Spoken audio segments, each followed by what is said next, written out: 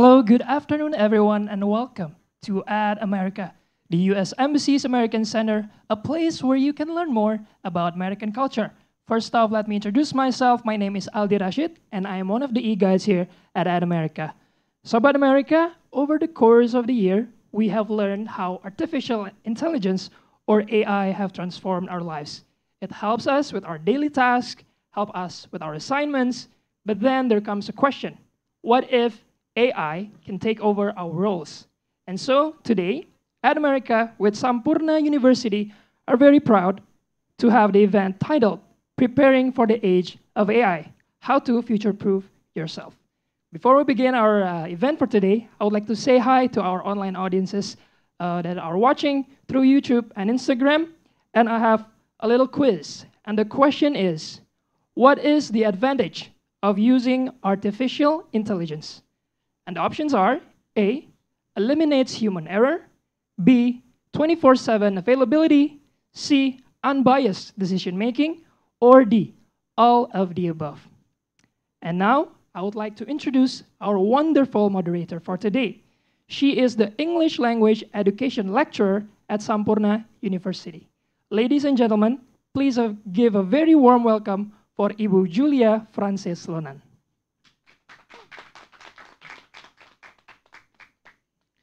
Hello, everyone, and a very, very warm welcome to everyone who are joining this discussion workshop right here in the Ad America performance area, as well as those who are joining us via Ad America Live through all digital platforms. So, welcome. I'm honored to stand before you as your moderator for our discussions today, entitled Preparing for the Age of AI How to Future Proof yourself. My name is Julia Lonan, and it is my pleasure to guide us through that what promise to be a very stimulating and insightful discussions today. So before we dive into the heart of the conversations, let me express my gratitude to Ad America and of course Sampurna University for putting together these discussions. Their dedications and hard work have made this gathering possible, providing us the platform to explore, to learn, and of course, to engage. Now, let's set the stage for our discussions. Once again, the theme of today's event is preparing the age of AI, how to future proof yourself. And it is both timely and relevant.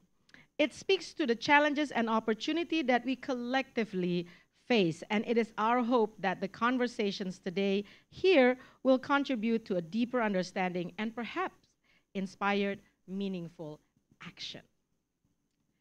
Right now, I would like to introduce our speakers who will bring a wealth of experience and expert expertise to the table. Thank you to both of our speakers today, and we have the opportunity to tap into this rich tapestry of knowledge and insight. So, our first speakers, ladies and gentlemen, is Bapak Stephen Sutantro. Welcome, Pak Stephen. Bapak Stephen is a Google certified trainer with Refo Indonesia.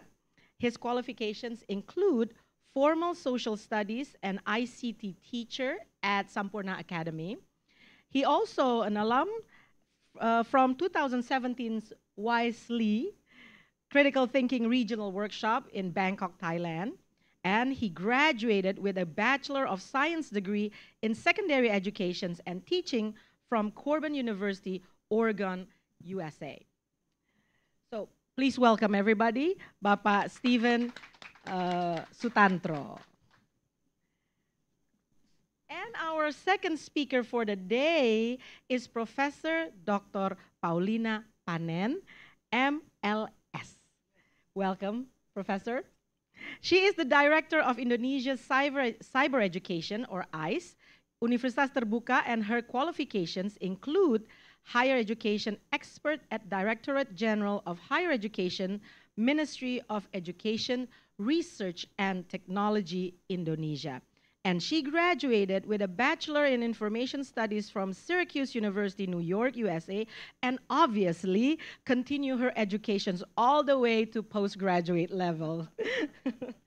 so please greet uh, our audience, Professor Paulina, and give a warm welcome to both of our speakers, ladies and gentlemen.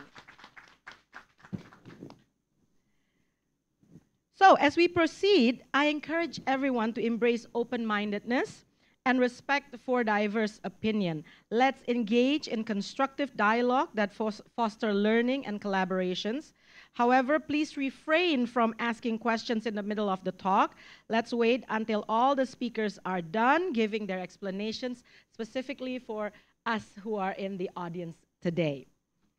Therefore, I encourage you throughout the event to take notes and write down your questions and when the Q&A sessions is open, please feel free to share your thoughts, post questions and actively participate in the discussions.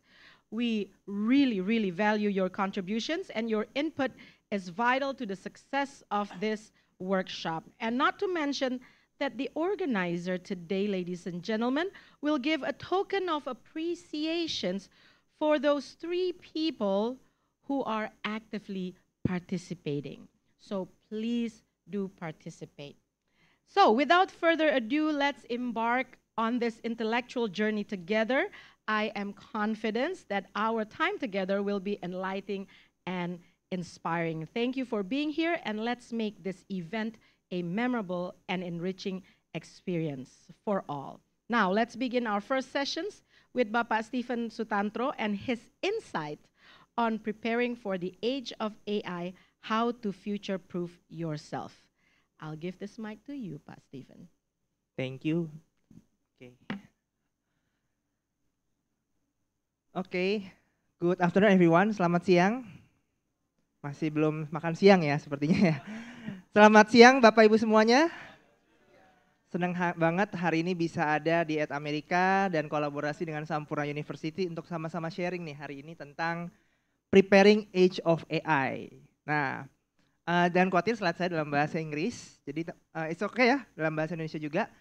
Uh, teman-teman yang hari ini hadir, hari ini aku akan berbagi gitu ya, uh, gimana sih kita bisa mempersiapkan diri di masa AI sekarang. Salah satunya saya langsung show through the example. Ada yang amatin nggak presentasi saya? Ada yang pakai AI nggak kira-kira? Ada. Di mana nih Bapak Ibu? Fotonya ya. iya. Ada yang tahu dibikin di mana nih Bapak Ibu? Ada yang bisa tebak? Apa Bu? Disney. Ya, di mana dibikinnya? Hmm, bukan. Apps-nya, betul. Apps-nya apa? Ada yang tahu? Almost. Sebenarnya ada namanya di Bing Image Creator. Ah, ya. Jadi teman-teman nanti bisa coba cek di Bing Image Creator. Ini promnya, like aku buatnya sangat spesifik banget dengan promnya aku. Uh, seperti ini promnya. Betul tadi ada kata Pixar dan Disney Bu. Tepat. Dan ini aku benar-benar custom banget bikinnya seperti ini. Nah ini salah satu contoh gimana AI udah berasa ya uh, mengubah cara kita kerja, changing how we presenting. And buat teman-teman nanti juga bisa share. Dan mungkin aku mau sharing AI itu sebenarnya macam kayak disruption di awal. Masih ingat ya di awal kita punya kalkulator, betul? Yang cukup disruptif mungkin waktu zaman dulu guru-guru matematika. Dan as time goes by, ada Google Search, betul? Yang orang takut banget, aduh kalau anak nge-googling gimana? Guru bahasa Inggris juga terthreaten juga dengan Google Translate, Wikipedia. Now, sekarang katanya ChatGPT yang bikin orang jadi deg-degan. Tapi I always believe um, these tools itu nggak bisa kita stop, betul ya teman-teman semua ya. Blocking them is never the answer, gitu ya. As a lecture, lecturer, student, kita nggak bisa mencegah hal ini terjadi. Tapi gimana cara kita bisa buat pendidikan jadi relevan dengan AI? Nah aku mau sharing gimana AI itu mendisrupsi. Ada yang masih ingat kehebohan ChatGPT lahir tahun tiga, hampir setahun yang lalu ya, 30 November 2022. ChatGPT itu lahir.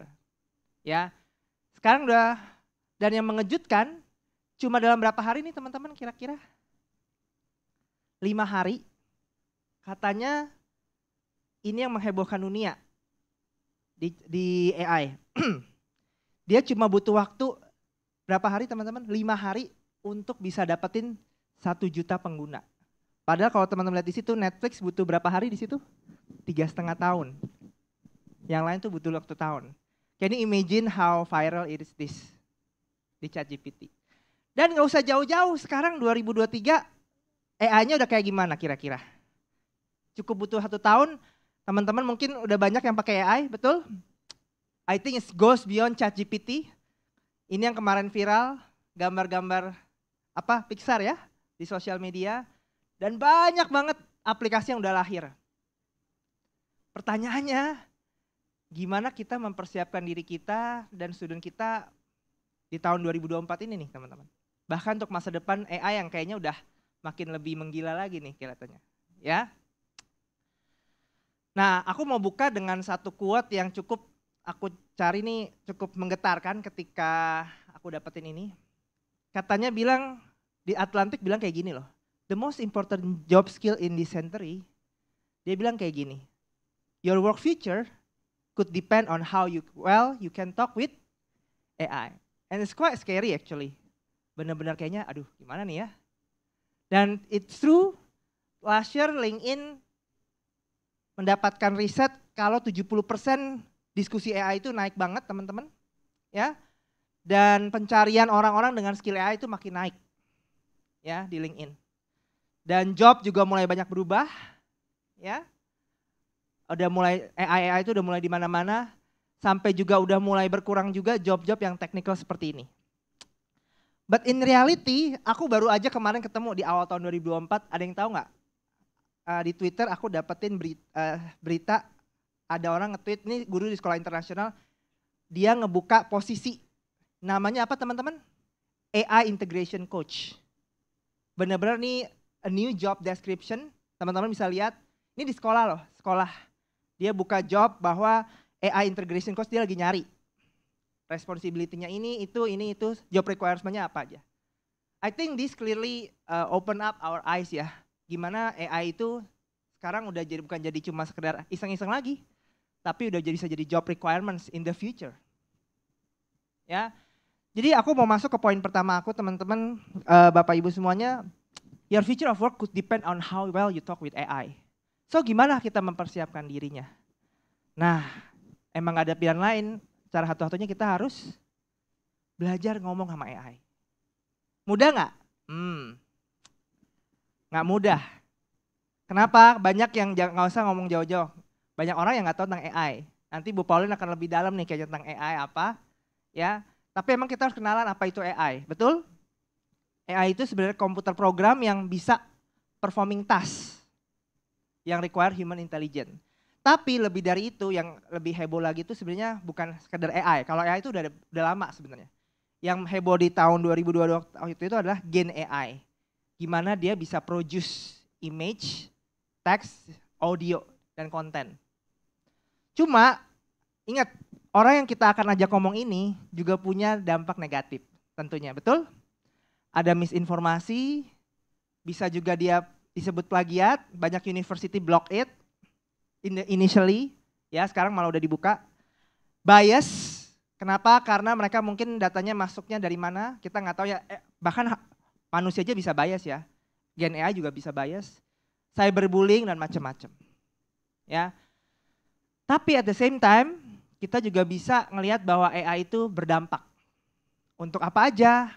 Tentunya nanti kita akan explore bareng-bareng creativity, efisiensi, dan learning. Nah, mungkin aku nggak mau lama-lama lagi. Aku mau kita langsung cobain uh, aplikasi yang mungkin teman-teman udah cukup familiar. Dan yang paling simple, gimana sih cara praktis ngobrol dengan AI? Yaitu pakai ChatGPT atau kalau teman-teman punya aplikasi namanya Google Bard. Ada yang pernah pakai Google Bard? Iya, beberapa pakai ya. Nah ini teman-teman kalau ada yang hanya HP nanti bisa langsung dicoba teman-teman karena kita mau coba langsung teman-teman bisa pilih Google Bard atau Chat GPT yang di rumah yang nonton online bisa langsung buka chat.app.openai.com or bard.google.com. Kenapa aku post dua? Karena kalau kita mau belajar ngobrol sama Chat GPT atau Bard ataupun platform apa lainnya, kita harus siapin, kita jangan cuma rely on satu doang, betul? kita harus bisa punya various types of AI chatbot. Mungkin teman-teman nggak usah jauh-jauh, uh, teman-teman bisa type practice di Sprom aja, yang simple. Gimana sih kita bisa mempersiapkan diri kita untuk future proof? Coba teman-teman tanya di ChatGPT ataupun di BART, type aja promnya. Prom itu seperti perintah yang teman-teman taruh di paling bawah, masukkan perintahnya di situ, lihat ChatGPT jawabnya apa. Ya, baik yang online maupun onsite bisa coba. Jadi bisa langsung experience. Gimana sih kita bisa future proof yourself? Ya jadi teman-teman dan coba teman-teman uji benar nggak sih apa yang hari ini kita bawa saya bawain persis nggak sama dengan ChatGPT atau BART? Kalau ya berarti saya ngopi paste ya. Tapi I believe kita akan lihat gimana caranya itu sebenarnya kita bisa goes beyond dari ChatGPT. Nah, aku mau tunjukin hasil pencarian aku di sini, teman-teman, dua ya. ChatGPT dan Google Bard. Semua punya jawaban yang ya udah direct direct to the point gitu ya. Tapi berasa nggak kalau teman-teman hanya baca dan dengerin penjelasan hari ini kita berdua akan berbeda, betul? Dan itu yang saya mau sampaikan, gimana nih kita bisa apa namanya ya future proof dengan kayak gini yang kayaknya buat zaman anak zaman sekarang nih cepet banget kan, ya sangat mudah dia dapat jawabannya, sangat mudah udah langsung rapi dibentuk poin-poin. Ya. Tapi teman-teman tahu nggak?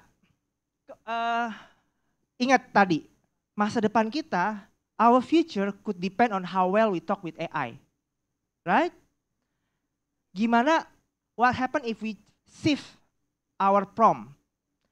And ini sih aku baru ketemu ada platform, nggak baru sih harusnya teman-teman dapat coba belum? Namanya Prom Perfect. Ada yang pernah coba? Prom Perfect ini bantuin kita, help us to improve our prom. Ini boleh difoto teman-teman nanti bisa dicari. Kenapa? Terus terang, you know what? The biggest challenge for us in AI itu adalah creating prom, right?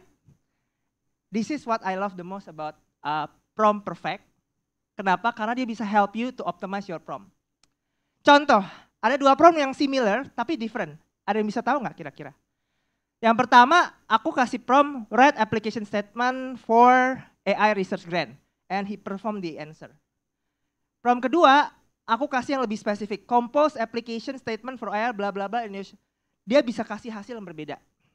Kenapa? Cuma gara-gara promptnya beda. Nah ini teman-teman kalau mau nyari dan kayaknya butuh benar-benar dapetin prompt yang beda, you should try to improve your prompt. Cause different prompts with different results. Ya, Aku mau show lagi yang uh, benar-benar signifikan juga. Lihat prom, uh, prom ini juga ya. Prom pertama aku, aku pengen dong ada teddy bear. Di mana? Di bedroom aku. Boleh nggak aku minta gambarnya kayak gini? Tapi sama tadi prom perfect tadi dia ubah menjadi lebih spesifik, betul? A life size, gray teddy bear sitting on plush, bla bla bla. And it produce different result, correct? Ya. Yeah?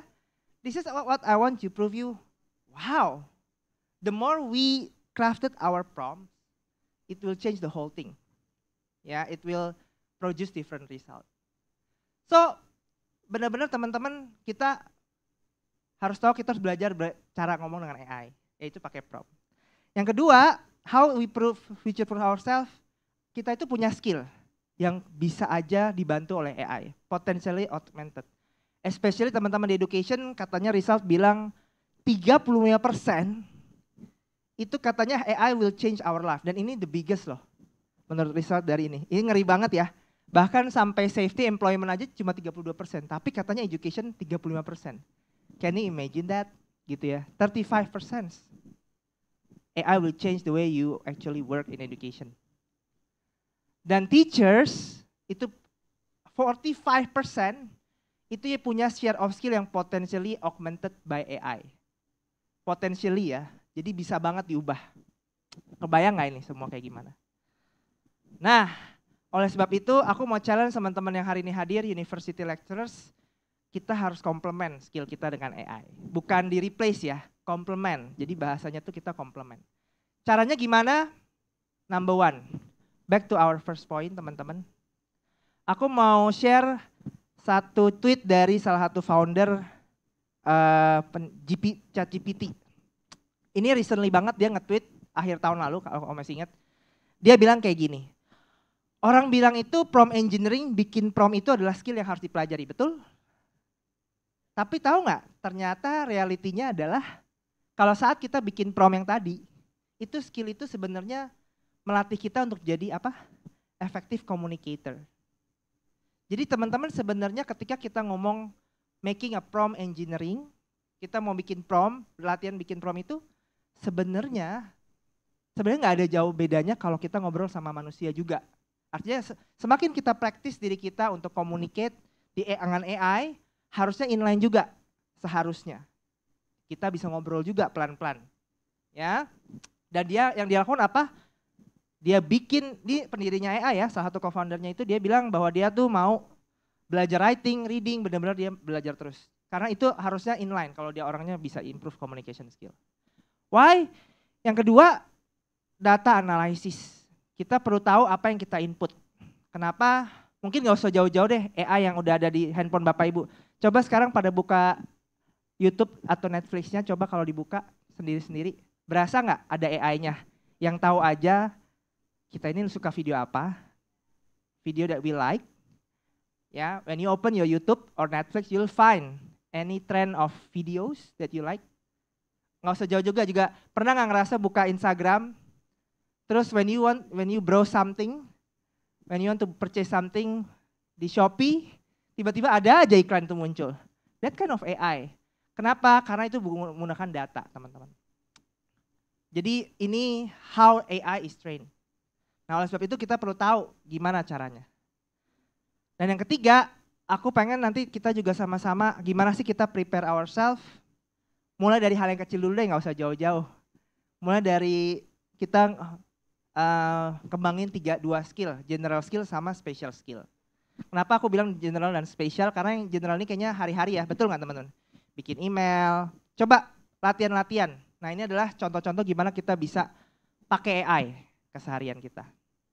Ada juga duet AI, teman-teman kalau pernah belajarin zaman sekarang itu yang aku maksud general skill tuh kayak gini loh teman-teman. Sebenarnya sekarang ini kayak kita nulis email, teman-teman tahu?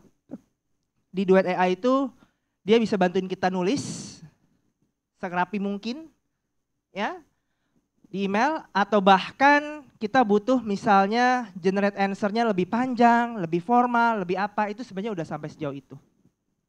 Ya.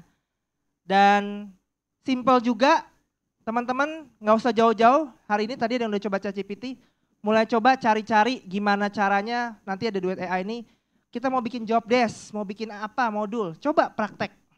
Nah ini di, contohnya di Google Docs. Ada juga yang dia bikin arrangement of work table. Nah ini contoh-contoh gimana teman-teman bisa pakai AI untuk bantu keseharian teman-teman. Managing your task, ya organize your work, Kebetulan ini Google Sheet udah terintegrasi juga pakai Duet AI, dia bisa bikin tabel seperti ini langsung. Nah, buat dosen-dosen, aku juga punya beberapa tools. Kalau ini, kalau tadi itu general skill, sekarang special skill. Ada yang pernah coba elicit, Bapak Ibu? Ah, Bapak udah pernah. Buat apa Pak? Tinjauan literatur ya. Wah, udah keren banget. Ini ada yang pernah coba nih, ini keren banget kalau buat mahasiswa dan lecturers dia itu analis analyze research atau super human speed. Wow, ini ngeri banget nih. Aku mau kasih tunjuk demo sedikit aja apa aja apa yang bisa dilakukan. Jadi teman-teman tinggal type. Aku mau ini gak enak banget ya zaman sekarang riset ya. Saya tuh pengen analisis efek drinking, too much caffeine. Dia akan cariin konsep-konsepnya. Aduh enak banget ya kalau zaman mahasiswa saya kayak gini gitu ya. Atau dosen. Terus dia akan cari source-nya di mana, di mana, di mana ya dan dia akan opening papernya. Ini salah satu contoh aja. Nanti bisa dicoba. Kayaknya masnya udah pakai ya, ngebantu ya kayaknya ya. Wah, ya. Ada yang pakai konsensus? Konsensus juga belum. Ini menarik banget teman-teman, karena di konsensus itu teman-teman bisa ketikan satu topik research. Contohnya, can mindfulness improve sleep? Terus teman-teman nanti akan dikasih summary-nya, top papernya. Aduh, pokoknya enak banget deh ya can you imagine researcher pasti fall in love with this ya as a researcher nanti bisa dicoba explore ya as simple as this atau ada yang coba-coba pakai science space ada yang pakai ini juga menarik banget buat for researchers teman-teman dia bisa analisis teman-teman mau cari tentang research tentang climate change ya impact biodiversity teman-teman potret ini dia akan bantuin teman-teman dapetin insight dari lima papers yang you probably spend a lot of day, of course lah ya. Kadang-kadang, dan dia akan kasih tahu insight-insightnya. Aduh, enak banget. Ya, dan kebayang kalau ini dipakai oleh lecturers, student gimana impactnya. Ya, dan ini juga masih banyak tools-tools AI yang teman-teman as an educator, as a lecturers juga bisa explore. Nah, ini banyak banget fitur-fiturnya. Aku nggak bisa jelasin, tapi ini salah satu yang paling sering dipakai di kelas. Nanti teman-teman bisa coba explore. Ya, tools-tools yang menurut aku nih bakal game changing lah pakai AI. Ya, beberapa yang familiar mungkin Canva, of course ya. Yang paling aku suka sih ada namanya Magic School. Nanti teman-teman bisa coba. Banyak banget yang game changing juga di situ. Banyak banget. Ya, Big Jam keren-keren banget. Nanti teman-teman bisa explore. Nah, ini comes up di poin aku yang ketiga. Gila, kalau tadi bikin riset paper, bacain paper, getting insight about paper aja udah segini seamlessnya. Terus gue harus ngajarnya gimana dong ya? Apa yang harus aku ajarin nih? Gimana cara kita bisa ngajar? Terutama di zaman yang sekarang ini sesim, uh, seseamless ini. Apa yang bisa kita lakukan beda? Aku cuma mau kasih tahu teman-teman, ini penting banget di Age of AI ini kita harus rating apa yang AI nggak bisa kerjain. Ya, kalau tadi kita udah nyari apa sih yang AI bisa kerjain, ini contohnya buat higher head ini ini semua nih. Ini bisa dikerjain. Lalu apa yang nggak bisa dikerjain dong? Ya, nah ini yang membuat aku mau challenge teman-teman berpikir. Ada yang tahu kira-kira apa dari semua ini tools yang aku kasih, apa yang AI kira-kira belum bisa kerjain teman-teman? What AI can do, but you can do it better. Ada yang bisa kasih tahu jawabannya? Apa sih yang AI nggak bisa lakukan? Yes? Personal experience. Personal experience. Oke, boleh dijelasin sedikit pakai mic Pak? Biar kedengaran semuanya. Personal uh, experience. Ya. ya. Karena mungkin hmm. experience setiap orang atau emosi seseorang hmm. berbeda-beda satu sama lain. Berbeda-beda satu sama lain, betul. Ke, tadi teman-teman ada yang cari riset nggak di chat GPT yang tadi aku minta di awal teman-teman? Cari how AI can prepare you for the future. Bapak nyari nggak? Ada yang nyari nggak tadi? Pakai ChatGPT atau BART? Ada nyari? Bapak kira-kira apa yang Bapak bisa dapetin perbedaannya yang Bapak dapetin ChatGPT sama dengerin sesi hari ini yang langsung lively dari sini kira-kira? Ada bedanya nggak kira-kira? Mungkin bisa kasih mikrofon ke Mas. Apa sih perbedaan dengerin ChatGPT sesinya tadi dengan ini nih, silahkan. Oke, terima kasih. Hmm. Jadi kalau dengan ChatGPT secara umum informasi yang kita dapatkan itu hampir boleh dikatakan serupa dari formatnya, hmm. terus juga konten informasinya. Saya saya mungkin setuju dengan poin yang di, tadi disampaikan karena dekat sebetulnya dengan kalau misalnya kita buat semacam annotated bibliography kan, Hmm. Salah satu poin annotated bibliografi itu kan selain evalu uh, apa summarizing, hmm. ada evaluation dan yang terakhir itu ada namanya response. Betul. Jadi personalized response dan satu hal yang boleh dikatakan apa yang ini kan formatnya persis sama dengan hmm. itu dan ada kata yang boleh dikatakan sering sekali muncul. Kalau saya search sesuatu kata dwell itu sering sekali muncul yang means explore ya. Yeah. Instead of that. Jadi kata-kata yang boleh dikatakan khas kata-kata chat GPT itu selalu akan digunakan. Uh, ada polanya ya? Ya ada polanya. Ada polanya, thank you. Terima Dan kasih. memang ya thank you. Kita kasih tepuk tangan dulu dong dua audiens kita yang udah berbagi menganalisis perbedaan chat GPT dan apa yang AI bisa lakukan. Dari tadi saya nunjukin apa yang AI udah bisa lakukan di sini. Banyak ya teman-teman semuanya? Ya, tapi kira-kira coba deh refer back apa yang nggak bisa dilakukan oleh AI mau kita mau bagus kayak apa pun promnya. Nah, ini yang harus kita eksplor apa yang kita bisa gali. Ya, kalau enggak ya kita ya udah bisa bisa bisa jadi nih. Kalau kita nggak bisa bilang, duh ini kita bisa di replace. Orang lebih cepat nanya di AI. Tapi betul teman-teman ada yang nggak bisa digantikan ya dengan AI. Walaupun asisten saya bisa bangkusin nulisin seperti ini, ya bisa bantuin saya ada asisten bikinin tabel, ya. Walaupun teman-teman bisa dapetin research paper dengan lebih cepat analisisnya. Ya, tapi ada sesuatu yang kita rasa dan kita yakin banget ini yang membuat kita tidak bisa tergantikan, teman-teman. Nah, aku mau kasih tahu teman-teman apa yang kita bisa lakukan uh, supaya kita betul-betul bisa jadi AI ini komplement skill kita. Nah, aku ambil contoh di Vanderbilt University. Dia itu kebetulan uh, kayaknya mirip-mirip Sampurna ya. Dia punya CTL juga nih Bu Desti ya. Dan dia itu melakukan seperti yang hari ini dilakukan, senangnya saya juga, bahwa uh, dia itu equipping the faculty, dia admit, wah ini kita harus teaching in the age of harus sudah berubah nih. Ya, dia lakuin riset dan aku senang banget makanya Sampurna uh, melakukan hal ini. Dan aku ambil dari websitenya dia nih, Bu, dan dia publish kebetulan, dan ini bisa jadi salah satu contoh. Gimana sih cara kita supaya kita ngajar di age of AI ini nggak tergantikan? Ya, Cara yang pertama itu memang betul tadi bilang harus ada sentuhan personal. Atau mungkin aku mau kasih poinnya di sini lebih lebihnya localize. Itu yang nggak bisa digantikan. Betul nggak? Kalau teman-teman nanti buat paper, mungkin para dosen atau mungkin mahasiswa bertanya-tanya ataupun guru yang hari ini hadir atau nonton di online bertanya, gimana caranya gue bisa bedain ini hasil dari AI atau bukan? Ya, yuk teman-teman aku ajak bisa localize assignmentnya. Jadi nggak cuma sekedar teman-teman ya udah baca AI, udah habis itu selesai. Kita localize. Yang kedua, banyak apa teman-teman? Reflection. Nah, yang tadi dibilang personal tadi nih, bener banget. Aku rasa ini juga nggak akan tergantikan.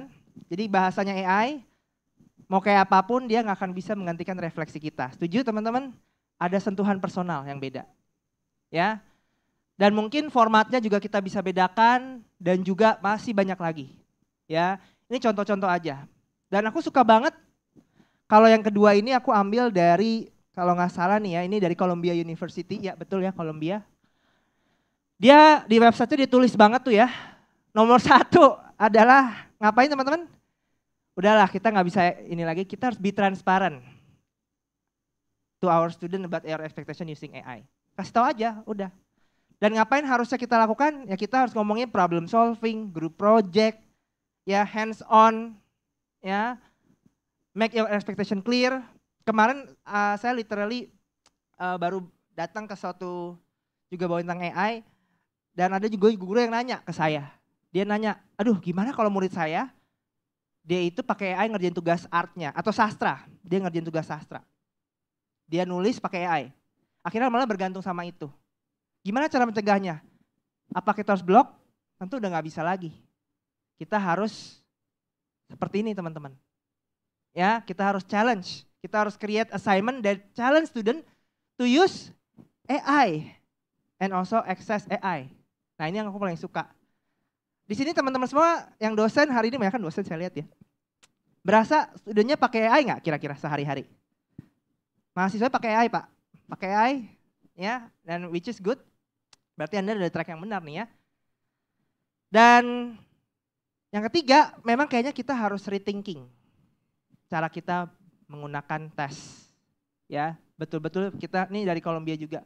Dia bilang seperti itu. Nah, ini ada beberapa contoh teman-teman e-portfolio, case study, you can do simulation, teman-teman bisa experiential learning, ya. Dan mungkin aku pengen tanya nih sama teman-teman dosen yang hari ini hadir, langsung aja yang karena udah banyak yang hadir nih teman-teman dosen.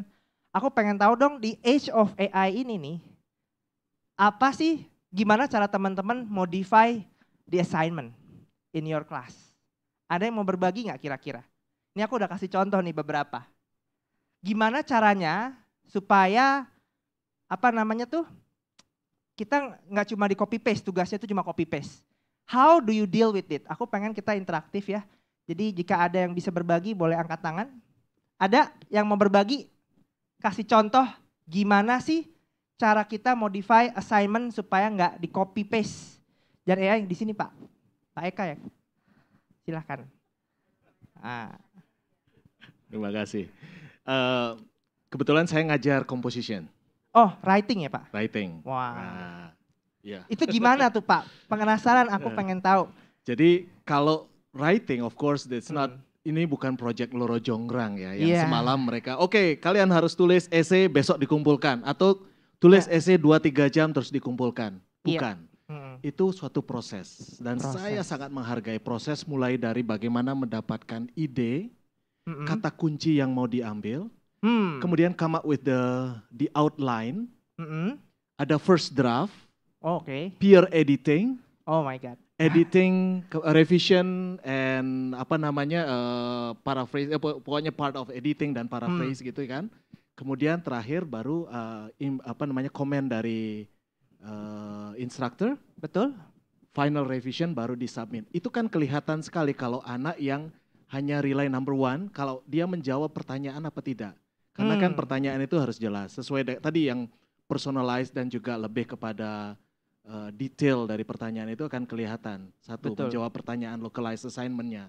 Terus yang kedua kata-kata yang dipakai itu kan seperti saya katakan tadi bahwa ada kata-kata yang kalau saya kebetulan tertarik belajar dengan vocabulary ada namanya frequently used words mm -hmm. and less frequently used words. Kalau terlalu banyak menggunakan kata-kata less frequently used word yang to some extent dapat dari AI, kelihatan pak. Writingnya meaningless dan juga ini bukan dia yang nulis. It seems like robot gitu kan. Ush, jadi bapak tahu ya? Iya, kelihatan wow. diidentifikasi.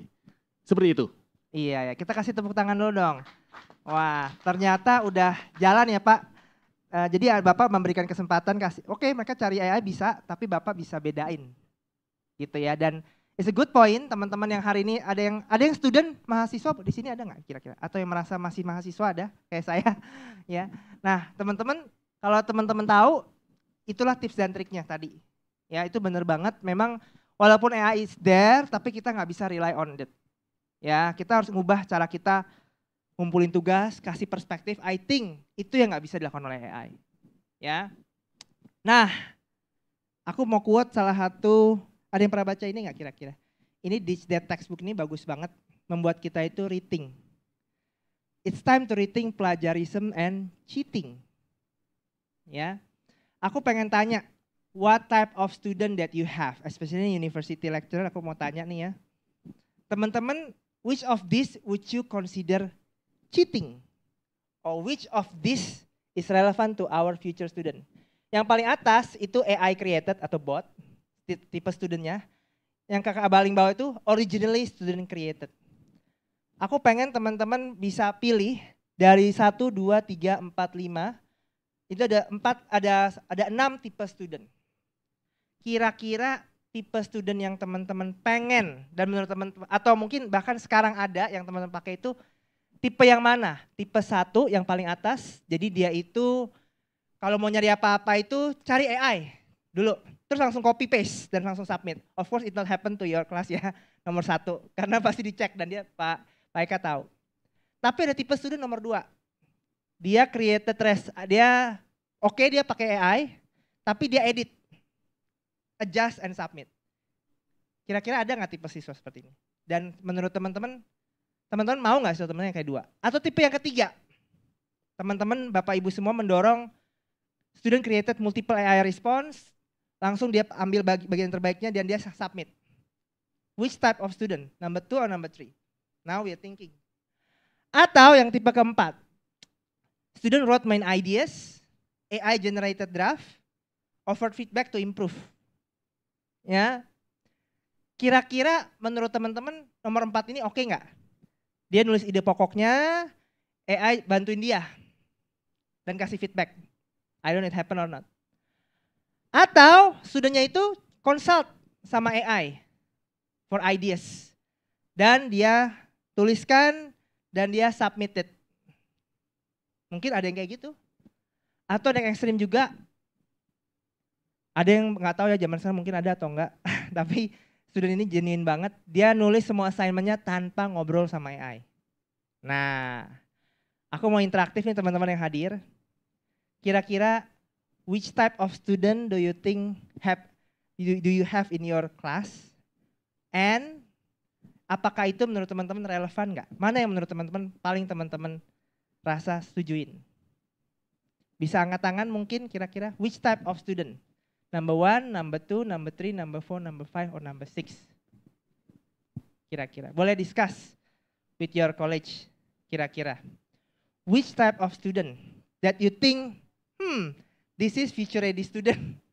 Or Mungkin teman-teman punya pendapat yang berbeda. Ya, boleh kasih mikrofonnya Pak. Kenalan dulu Pak dari siapa? Oke, saya Aldi. Saya bukan dosen tapi saya pustakawan. Oh, wow. Jadi emang ini pekerjaan salah satu bagian dari pekerjaan saya ya mengecek plagiasi mahasiswa. Waduh, dekat nih saya. Oke, gimana Jadi- gimana? Jadi kalau untuk yang nomor satu Mm-mm. itu biasanya Mm-mm. kedit bakal kedetek skor plagiasinya memang akan langsung tinggi. Dia bi- bisa bisa kedetek langsung tinggi itu nomor satu. Nomor satu. Uh-uh. Yang kedua untuk yang nomor dua ini biasanya eh, Hmm, kadang-kadang AI itu bisa dikelabui juga.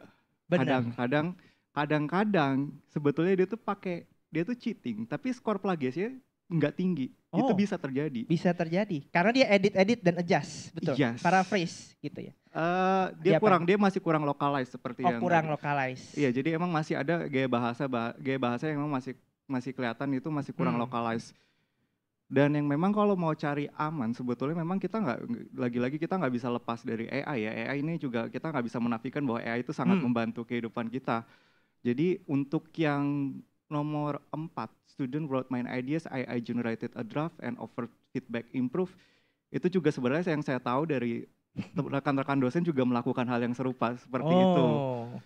jadi kurang lebih ya kita nggak bisa ngelepas dari yang namanya AI, tapi seenggaknya kita juga tahu untuk mana batasan mana ini plagiat, ini enggak gitu loh.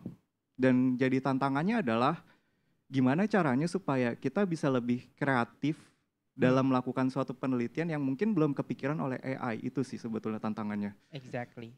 Nah, mungkin sebelum Bapak ini aku mau nanya dari enam ini kira-kira menurut Bapak coba di answer jawabannya. Yang mana yang menurut Bapak itu as a pustakawan librarian tadi menurut Bapak tuh relevan? Now, student ty- type yang mana menurut Bapak? Satu dan dua. Satu dan dua. Wow. Dan menurut Bapak yang yang menurut Bapak Bapak ekspektasi apa? Yang harapkan anak-anak punya? Apakah nomor satu atau dua? Yang Anda harapkan dosen dan mahasiswa itu sebenarnya kayak gini loh harusnya.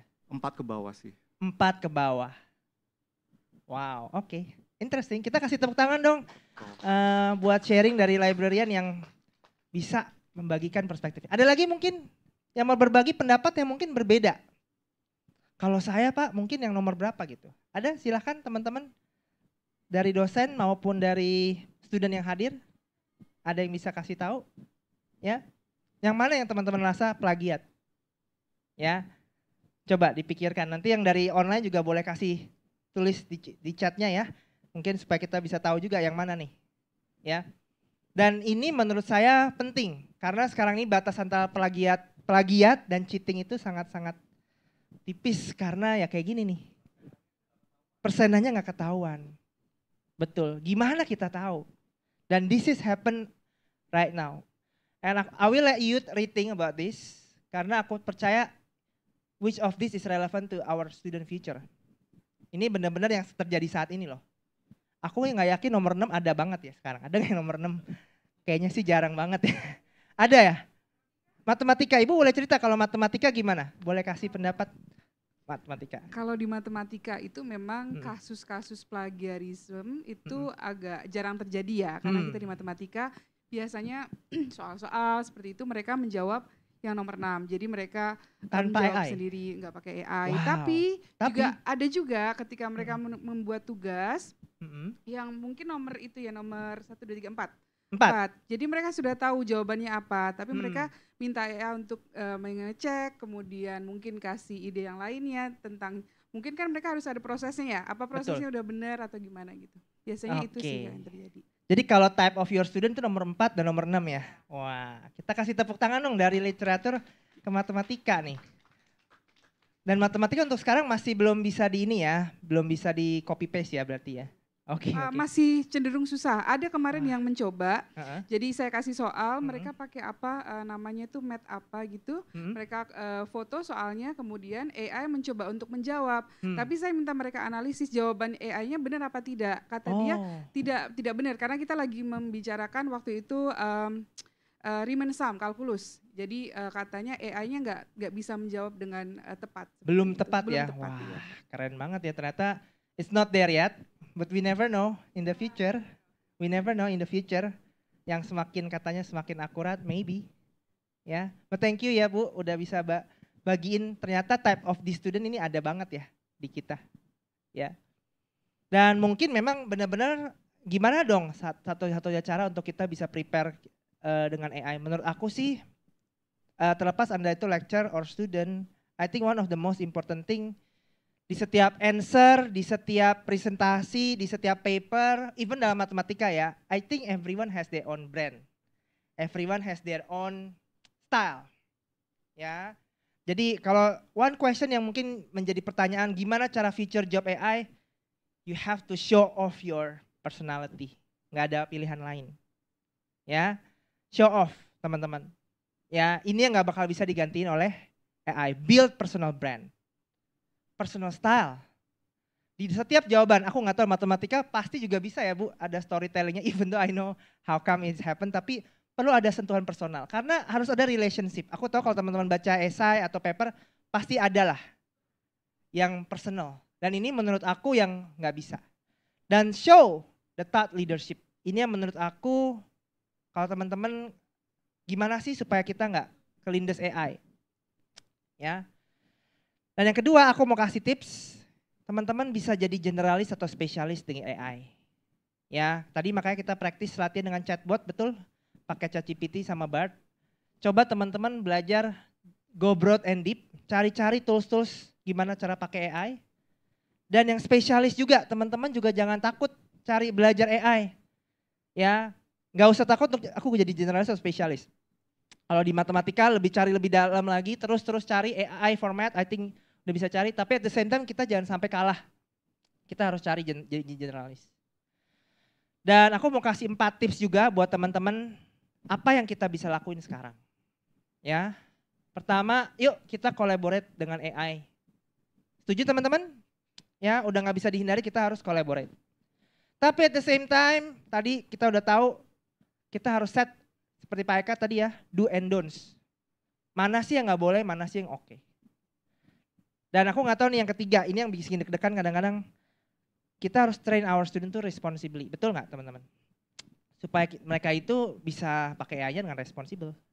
Dan yang terakhir, nah kita harus naikin dong standar kita ngajarnya. Udah nggak bisa nih sama kayak sebelum ada AI. Nah aku mau kasih contoh gimana starting pointnya teman-teman bisa mulai. Uh, ini ada yang pernah pakai ini, kalau teman-teman mau coba cari belajar tentang Gen AI, teman-teman bisa cari namanya di Google Cloud Skill Boost. Ini resource yang aku pakai terus terang untuk aku hari ini bisa explore basic-basic AI itu apa sih Gen AI. Ingat ya bukan AI aja, Gen AI. Generatif AI itu apa dan gimana caranya kita bisa responsibel. Nah ini gratis dari Google, dia punya batch-nya kalau teman-teman pas ya. Dan ini menurut aku menarik banget karena dia udah siapin modul-modulnya. Ya, so please please please try exploring this. And mumpung tahun baru teman-teman, what to explore in 2024? Ya, Teman-teman, coba aku sih yakin udah mulai ya di, di beberapa kampus udah harus kenalin namanya AI one on one. Ya, train your student apa itu AI, gimana bisa dia pakai, biasnya seperti apa. Nah, tapi aku rasa jangan berhenti di situ. Ini yang paling penting yang kedua. Aku balik ke poin pertama aku. Udah belum teman-teman ngajarin anak-anak kita belajar talk with AI? Nah, Menurut aku ini yang masih jarang banget. Ya, yuk kita belajar ngobrol sama AI dan menurut aku percaya deh teman-teman, teman-teman coba tadi buka chatbot, ChatGPT atau Bard, nggak gampang loh bikin prompt, bener nggak? Nggak gampang teman-teman bisa nyari apa yang dicari tadi di internet segala itu itu butuh skills, literally. And kalau teman-teman mau ngajarin supaya anak-anak itu bisa pakai dengan baik, ayo belajar. Dan ini bahkan yang baru lagi di art, gimana caranya teman-teman bisa ngubah kalimat itu jadi gambar yang keren kayak gini. Eh by the way ini aku pakai AI semua lah. Sadar kan ya? Gambar ini aku nggak cari di internet, semuanya pakai AI. Makanya kata-katanya begitu deh. Ya. Dan yang paling penting nih teman-teman AI Wonderland. Ayo kita explore yuk AI yang di sekitar kita. Ya karena nih AI growth-nya gila-gilaan. Tahun lalu aja udah bisa begini. Kebayang nggak tahun depan mungkin bisa bikin video animasi Pixar kayak gimana? Yang lebih gila lagi ya. Dan yang paling penting aku it comes to my point, kita harus belajar apa yang AI nggak bisa lakuin. Ya, teman-teman. Dan as a closure, mungkin aku cuma mau tak kasih inspirasi buat teman-teman nih ya. Aku kemarin di ChatGPT, aku tanya di ChatGPT, boleh dong ChatGPT, aku pengen ChatGPT generate lecturer yang resume-nya itu udah highlighting AI skills. Aku pengen tahu dong, kalau aku suatu saat university masa depan nih, dia pengen cari dosen yang udah pakai AI. Or AI coach, or AI with lectures Aku pengen tahu dong what kind of skills. Apa yang harus dosen-dosen ini lakuin sekarang? Nah ini contohnya di sebelah kanan nih, like literally I copy paste and then after this you can actually do that also. Search it on ChatGPT. Ya aku berharap teman-teman yang hadir hari ini orang jadi pioneer gitu ya. Yang bisa uh, mengintegrasikan AI, ya, design AI, dan ini menurut saya type of CV or resume yang mungkin, ingat, our future could probably depend on how well we talk with AI, right? Jadi teman-teman mungkin aja ini menjadi salah satu feature-nya teman-teman. Dan aku nggak tahu nih teman-teman bisa nggak one day bisa jen, apa ya experience this. Mumpung tahun 2024. Dan aku mau tutup dengan kutipan dari salah satu pendidik nih di Amerika yang menurut aku tuh keren banget ya. Ingat kalaupun kita pakai AI, AI itu is there, is not just for modernization, ya, tapi is there to work with educators, to work with you guys. Setuju teman-teman? Ya. Tapi tujuannya buat apa? Bukan untuk macam-macam, teman-teman. Tapi untuk semuanya untuk support students supaya mereka bisa jadi the best learner. Setuju nggak teman-teman? Ya. Dan aku harap apa pun AI yang teman-teman pakai hari ini, mungkin teman-teman pakai ChatGPT atau apa, startingnya mulai dari sini teman-teman. Gimana ya gue bisa support student gue bisa menjadi the best learner. Ya apalagi ngadepin tadi di age of AI yang gila-gilaan teman-teman. Ya, jadi please jangan jadiin AI apa ya momok, setuju? Jangan jadiin AI, aduh ini kayaknya gue gimana ya pakai AI nanti. Yuk kita jadiin AI ini sahabat, partner, rekan kerja. Resolusi tahun 2024 pakai AI. Ya, supaya kita bisa support our students and prepare for the future. I think that's all. Thank you so much.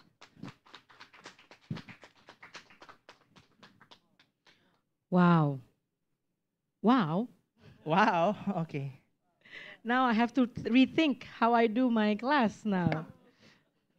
very, very interesting communications. Now, now we have to rethink all of our classroom, especially as teachers and definitely students uh, what, I, uh, what, what can we incorporate uh, without, uh, without leaving the ethical side, you know? So, ladies and gentlemen, Bapak Ibu sekalian, friends who are watching through all platforms of social media, now we are going into our second part of the sessions today or of the event. Now, our second speaker will bring a wealth of knowledge and, of course, experience to our discussions today. And her insights are sure to add depth and nuance to our explorations of preparing for the age of AI, how to future proof yourself. So please give a warm welcome to Professor Dr. Paulina Panen. Thank you, thank Silahkan. you, thank you, Ibu Julia, thank you. Good afternoon, everyone. Nice meeting you all uh, online as well as offline. Terima kasih Bapak dan Ibu sudah mengundang saya untuk bicara uh, dan diskusi bersama-sama. Barangkali uh, judulnya uh, presentasi saya itu adalah menyambut undangan dari Pak Steven tadi, gitu ya. Jadi gimana sih katanya kalau sudah uh, di age of AI itu ya lebih baik sekarang kita uh, berteman aja deh gitu ya, jangan bermusuhan gitu. Kalau bisa sampai pacaran sih boleh juga gitu ya. Tapi kalau berteman aja udah alhamdulillah gitu ya. Nah, bagaimana caranya kita berteman, teman-teman sekalian? Kalau kita mau berteman tentunya kita harus mengenal dulu gitu ya. Tak kenal maka tak sayang katanya ya Pak Eka ya. Gitu. Nah, jadi kalau mau berteman yuk kita lihat dulu nih apa nih ceritanya. Apa sih AI itu gitu ya. Nah, AI itu sederhana saja, teman-teman. Nggak usah mikir yang susah-susah gitu ya. Itu cuma komputer atau robot yang bisa perform task. Yang ngasih tugas siapa? Kita gitu ya. Jadi dia cuma ngerjain tugas kita. Ingat ya, teman-teman. Jadi ability of computer or robot to perform task. Tasknya associated with intelligent beings jadi yang kita juga udah pinter gitu ya. Apa misalnya memorize, reason, discover meaning, generalize, learn from past experience dan seterusnya. Nah, yang paling penting untuk kita nih, yang awam-awam, yang bukan AI engineer begitu ya, itu sederhana aja, ada dua ceritanya. Yang pertama itu namanya applied AI. Applied AI itu apa? Itu tuh yang suka dipakai untuk bikin self-driving cars, lalu voice assistant, facial recognition, pokoknya yang aneh-aneh tuh ya. Untuk orang yang sudah sesenior saya itu, waduh gadgetnya makin lama makin banyak gitu ya. Nah seperti itu, itu applied AI. Jadi dia pakai advanced information processing, terus dia pakai existing content untuk performing task yang bisa memudahkan hidup kita. Produce viable smart system. Rumah jadi pinter gitu ya, bisa mati lampu sendiri dan sebagainya. Nah itu applied AI ya teman-teman. Tapi ada lagi satu lagi yang juga perlu kita tahu namanya generative AI. Kalau generative AI itu pakai use neural networks katanya to create new and original content. Jadi seolah-olah new dan original. Wah kita pinter bener tuh ya. Seperti tadi Pak Steven itu bikin fotonya, wah keren amat gitu ya. Nanti saya mau niru tak pakai gitu ya. Nah eh, apa sih yang dihasilkan dari Gen AI itu adalah teks misalnya ya. Teks, image, audio, video, 3D models. Oh, saya itu perlu waktu kemarin-kemarin tuh perlu bikin uh, video pakai uh, bahasa Inggris yang pinginnya tuh uh, apa intonasi dan sebagainya tuh seperti native speaker gitu ya. Itu pakai aja AI sudah beres itu ya. Langsung keluarnya wah keren uh, videonya Bu Polin gitu. Wah padahal itu cuma dari AI saja begitu ya. Apa istilahnya speech, uh, speech to text apa apa gitu ya. Nah Terus Bapak Ibu yang jelas kalau generatif AI itu nurutnya sama prompting tadi ya. Kalau applied AI itu nurutnya sama algoritma ya dibikin begitu. Oke, okay, machine learning. Oke, okay, Bapak Ibu, lalu data-data itu ya yang tadi bikin uh, apa AI bisa bicara, bisa generatif dan sebagainya itu adalah berbasiskan data yang besarnya luar biasa kita sering sekali berbicara tentang uh, overload of information, overload of data. Nah, ternyata data yang overload dan kebanyakan itu bisa dimanfaatkan untuk menjadi lebih bermanfaat buat manusia. Nah, itulah yang disebut dengan large language model. Itu salah satu bentuk dari artificial intelligence. Bagaimana pakai pola-pola tertentu bisa menghasilkan sesuatu yang baru yang disebut Gen AI tadi ya. Nah, LLM eh, inilah yang menjadi dasar untuk yang namanya Chat GPT atau Conversational AI, chatbot atau DALL-E atau BART tadi gitu ya. Nah, jelas-jelas sekali lagi ini basisnya adalah teks bukan angka ya. Makanya tadi matematik masih bingung gitu ya. Bukan angka, basisnya adalah teks teks yang luar biasa banyaknya atau big data kita sebut dan di apa kan di uh, analisis lagi oleh komputer pakai neural networknya dan sebagainya bisa create sesuatu yang baru. Bapak Ibu sekalian, teman-teman semua, kalau sudah kayak begitu terus bilangnya susah amat sih Bu Polin. Enggak kok enggak susah. Ya, sekarang yang enak-enaknya nih, tadi Pak Steven udah bilang, oh gampang kok, banyak kok yang bisa kita lakukan. Bagaimana kita menjadi teman dari AI dan hidup bersama AI, ya. Yang pertama, AI is a tool. Tidak lebih, tidak kurang. Ya teman-teman, sama seperti teman-teman punya alat uh, eh, HP, itu juga tool ya Pak ya? Aldi ya? punya juga uh, laptop ya atau notepad begitu itu juga tool gitu ya yang akan membantu kita mempermudah hidup kita. It's a tool. Zaman dulu kita punya alat hitung misalnya ya ini apa nih? Alah. Ini abakus, ini sipoa. ada juga alat-alat macam-macam, ada thesaurus, dictionary, vocabulary builder, ada uh, apa namanya? Kalkulator Terus ini udah mulai nih ya ketika ini bersatu menjadi computer assisted instruction ya. Ingat ya, kalau di language apalagi ya computer assisted instruction itu banyak sekali computer assisted language instruction ya. Nah, tapi sekarang itu semua disatuin nih ya. Disatukan semua jadi hilang nih satu-satu nih. Nah, dia hilang, dia hilang, udah nggak ada yang pernah pakai lagi kan ya. Tapi sekarang yang datang adalah si AI atau chat GPT ini ya. Sekali lagi teman-teman, AI is a tool. Ya. Kita lihat, AI is a tool, tapi kok bentuknya seperti teman kita? Iya, makanya tolong dipedulikan teman-teman. Jadi jangan pura-pura ah cuek aja deh, itu urusan anak muda. Saya kan sering bilang gitu tuh. Itu urusannya Pak Steven tuh yang generasi X itu saya udah putih. Nggak bisa begitu ternyata gitu ya. Kita juga harus ikutan tuh berteman sama si AI gitu ya. Kalau kita ninggalin dia salah kita. Nanti kita malah nggak tahu apa-apa gitu ya. Stop pretending that it doesn't exist. It exists. It help us. It is a tool. Tapi tetap the master is me. Ya, berikutnya learn it use it collaboratively. Tolong ya teman-teman, jangan pakai sendirian, nanti pakai sendirian bisa dikibulin sama AI gitu ya. Bisa jadi macam-macam itu.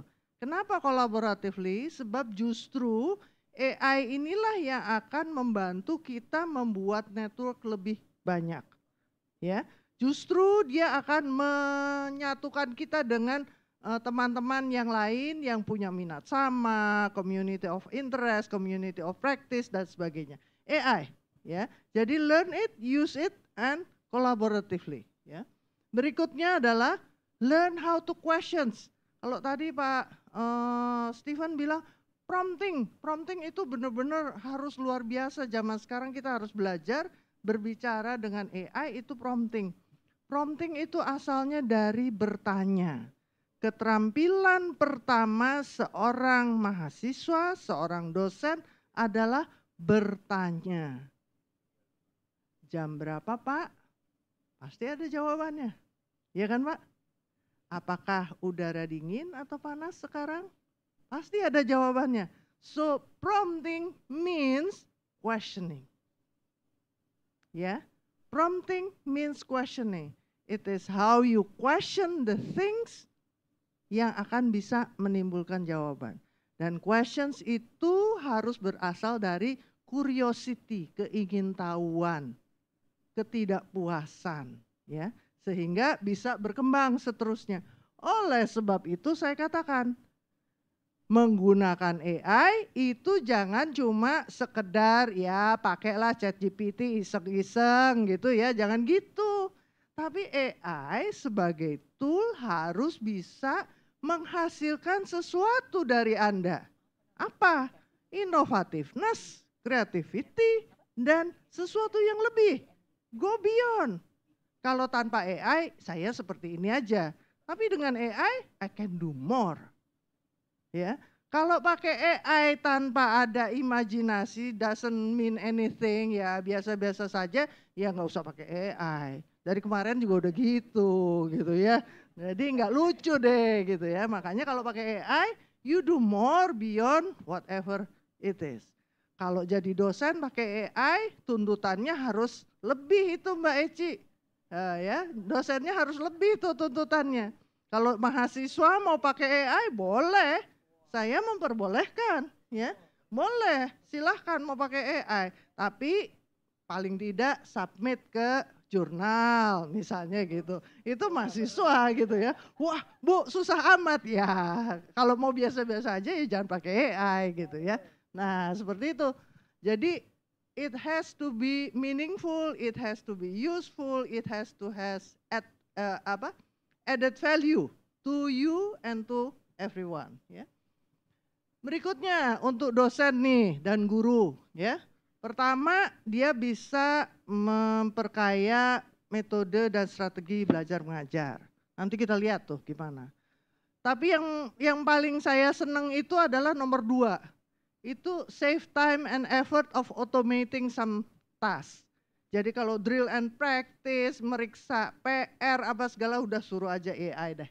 Gitu ya. Itu paling seneng banget deh gitu ya. Kalau nomor satu tuh saya masih harus kreatif gitu ya Nah, nomor tiga itu expand their knowledge and skills. Ya, karena saya bisa milih banyak resources dan juga bisa collaborate ya. Kita lihat nih, apa saja sih landscape yang bisa dilakukan oleh seorang dosen atau guru kalau mau pakai AI. Semua pekerjaan seorang dosen atau guru bisa dilakukan AI bisa dilakukan AI. Pertanyaan saya nanti uh, di akhir nih ya harus dijawab. Kalau gitu apa gunanya ada guru dan dosen? Ya Pak Eka? Ya, kan udah dilakukan tuh semuanya tuh. Oh, pak, sampai profiling prediksi mau sukses atau tidak mahasiswa itu bisa dilakukan oleh AI. Iya kan? So what gitu loh. Oke? Okay?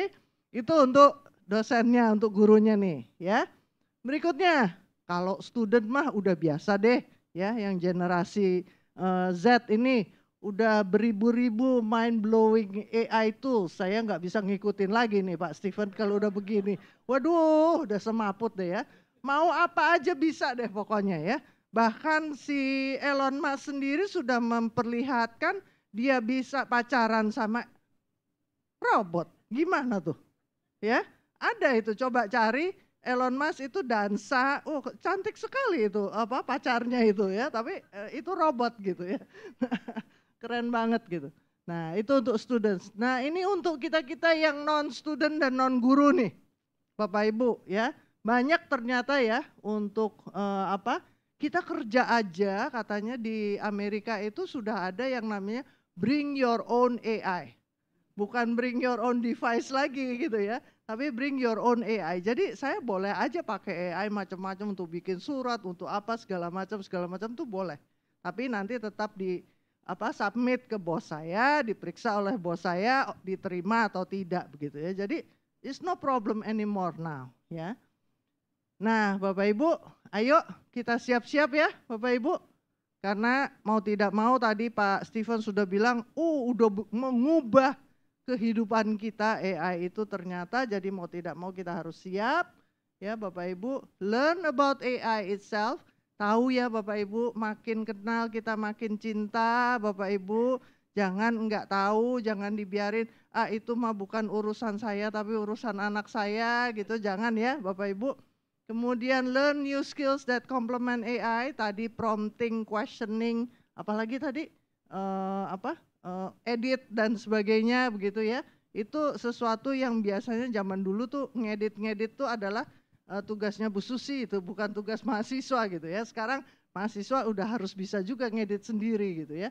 Nah, kemudian learn about the impact on AI in your field. Teman-teman, kalau kita belajar sesuatu misalnya nih jadi guru matematika ya, kita ingin kita belajar untuk menjadi guru matematika. Benarkah bidang kita, pendidikan matematika itu tidak terpengaruh oleh AI?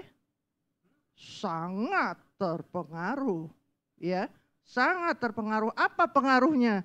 Jangan terus bilang, ah enggak, ah enggak, enggak terpengaruh kok kalau kata ibu, ibu siapa nih?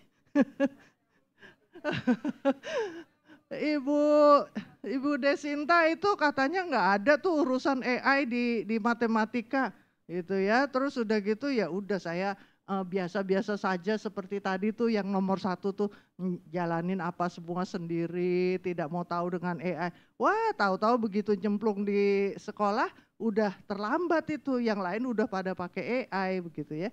Kitanya yang belum. Jadi tolong teman-teman be uh, apa keeping up to date uh, with everything ya.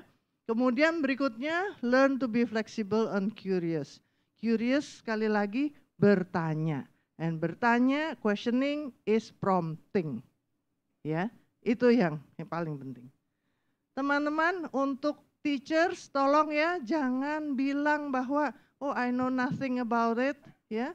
I don't want to know about it but we have to talk about it karena akan berpengaruh kepada saya sekarang, mahasiswa saya, anak didik saya, dan lulusan saya tahun depan. Gitu ya. Lalu untuk mahasiswa, tolong selalu keep up to date. Jangan pernah tidur ya. Jadi mahasiswa tuh nggak boleh tidur itu. Yang boleh tidur itu emak-emak. Ya. Kalau mahasiswa nggak boleh tidur itu 24/7 itu. Ya, oke. Berikutnya, nah ini teman-teman Tadi ingat pertanyaan saya apa? Pertanyaan saya apa tadi? Yang awal sekali, apakah guru akan tergantikan oleh AI? Karena AI-nya kan udah keren-keren banget tuh ya. Tadi udah bisa macem-macem semuanya. Apakah guru akan tergantikan oleh AI? Ini salah satu jawaban dari seorang mahasiswa yang diteliti oleh Schofield. Dia bilang, I think enthusiasm is something that only teachers can show toward a certain subject. For me personally, if my teacher isn't enthusiastic about their subject, there's no point in actually teaching that subject. I don't see how AI can be enthusiastic about anything, so I think it will be very hard to learn from it. Yeay, hidup guru. Dan itu menyatakan bahwa we uh, there is hope with better be friend with AI, but AI will not replace me. That's it. Thank you very much, everybody.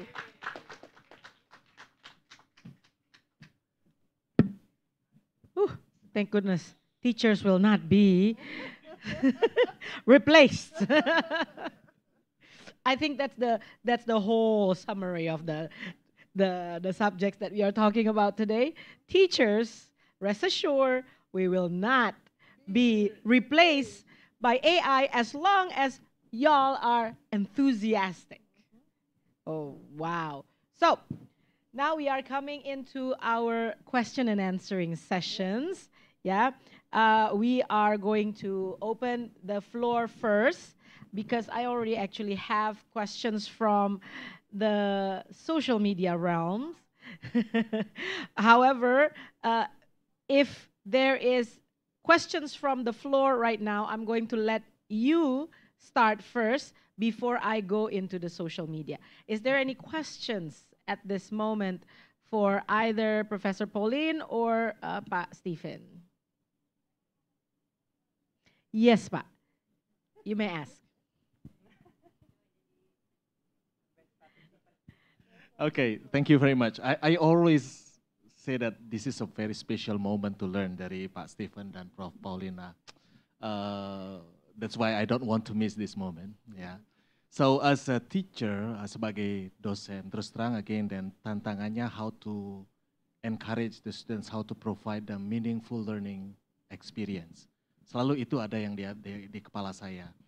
And dengan proses seperti ini, I mean that knowing AI, to what extent AI should help us to become enthusiastic, selalu memberikan semacam proses bersama.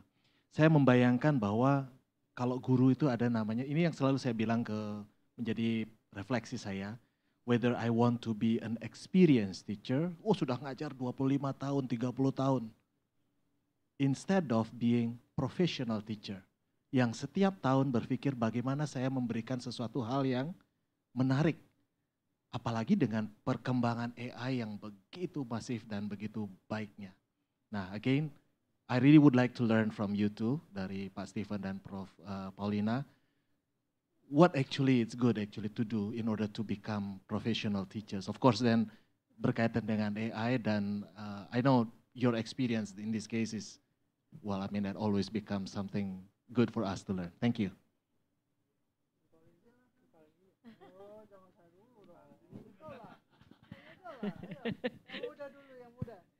It's going to be very difficult today. Aku jawab dari sini aja ya. Silahkan. Oke, okay, thank you Pak Eka buat pertanyaannya. It's an honor for me juga untuk bisa belajar ya tentang AI. Terus terang kalau dari perspektif saya Pak ya, uh, saya juga bukan orang yang apa namanya, bukan nggak ada background AI ya. Terus terang memang gimana nih kita sebagai guru bisa actively pakai AI. Kalau aku sih balik ke poin tadi Pak, uh, kalau aku kita zaman sekarang nih gimana sih kita bisa brand ourselves as professional with AI. Nah itu tuh menurut aku memang number satu, number one memang harus action ya, speak louder than words. Jadi kalau menurut saya uh, bukan hanya kita ngomong tapi kita lakuin. Mungkin hal-hal simple kayak tadi aku bilang pertama kita harus develop personal branding kita dari awal. Jadi kalau Bapak kan tadi udah cerita ya gimana AI itu bisa dipakai di kelas. Nah kita proof dari mungkin presentasi kita sama siswa udah harus beda. Ya artinya kita show off, show, show kasih tahu ke student bagaimana kita itu sebagai guru yang udah AI literate. Artinya nggak yang apa sih AI gitu ya, udah tahu. Nomor satu itu kita bisa hal simple ya Pak kayak presentasi kita. Ya coba kita ajak anak-anak dalam interaktif itu kayak tadi aku cukup minta ayo anak-anak pakai Google Bar ChatGPT. Cari bandingin kalau Anda ketik materi yang sama, prepare future job di AI sama Bapak Ibu dengerin hari ini saya ngomong coba. Itu kan kita kayak berani gitu ya, ya kasih tahu AI ini ada boleh ada tapi gue tetap tidak tergantikan. Tetap lu akan belajar sesuatu dari gue seperti tadi Ibu Paulin bilang nggak ada yang bisa gantiin antusiasme kita, branding kita. Itu menurut aku tuh jadi nomor satu sih itu sih Pak. Jadi memang kita harus show uh, bagaimana kita menggunakan AI dalam kelas mulai dari hal-hal yang kecil. Jadi kita pun harus set examples. Banyak orang cuma bilang oke okay, pakai AI apa ya, tapi kita sendiri nggak pakai. Ya gimana orang mau contoh hal itu. Jadi memang kita harus jadi set the examples. Makanya aku aja tahun ini resolusi komit Pak 2024. Ya jadi gimana caranya setiap presentasi aku mungkin ada AI yang diselipin. Supaya orang bisa kenal aku udah lagi nggak Steven cuma sekedar apa um, ngajar materi Google atau apa but it's beyond that. Kayak Bapak ngajar tadi uh, ini ya, writing ya, composition. Tapi gimana orang bisa kenal Bapak tuh beyond composition aja, tapi composition with AI. I think that's something you can start right now. Ya, itu mungkin dari aku. Thank you. Profesor Pauli. Ya, yeah, thank you, thank you. Uh, sebetulnya prinsip seorang guru itu masih sama. Pak Eka, dari zaman dulu sampai zaman sekarang. Kita itu satu langkah lebih depan dari murid itu saja ya uh, jadi kalau bisa ya karena kita satu langkah lebih depan begitu lebih dahulu dari murid dari mahasiswa tentunya mereka akan mencontoh kita memodelkan kita kita menjadi apa istilahnya role bagi mereka ya bagaimana kita juga mengupdate diri kita mempersiapkan seperti tadi dikatakan oleh uh, Pak Steven gitu ya cuma masalahnya sekarang itu kecepatan untuk seperti itu menjadi semakin menggila.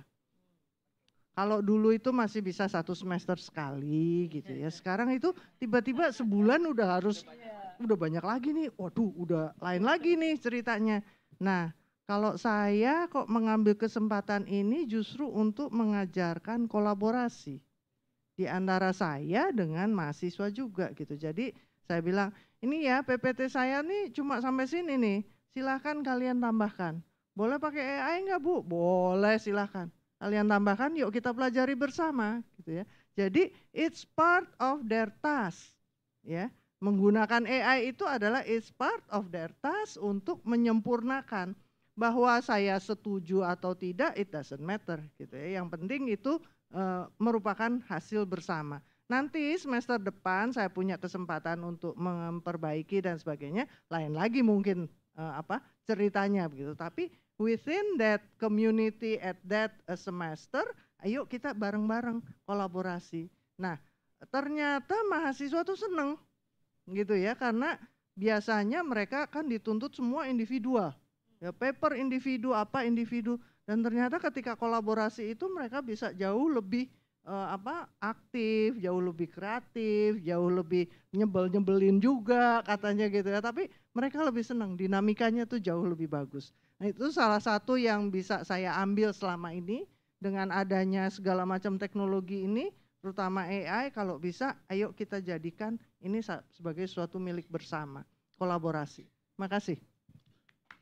I love that answer. I think uh, I think we are going to incorporate that in our semester here. Uh, I'm I'm inspired now, ladies and gentlemen. I really am. Uh, so uh, let's keep from the floor. I mean, I'm sorry. Let's stop from the floor uh, first. I'm going into the social media realms here.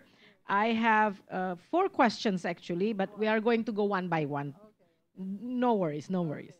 Um, I'm going to uh, the Instagram questions from Angi. Angi is asking about the history a little bit. I think this is for Professor Pauline. How has the age of artifici artificial intelligence evolved? Evolved since its inceptions. I don't know when its inceptions, but how has the age of artificial intelligence evolved since its inceptions, and what are the key milestones that have shaped its development? Please, ma'am. This is history. Thank you, thank you, Angi. I think that is a very interesting question, and it will take me about one semester to explain it to you. you have about five minutes, okay, so this is the case.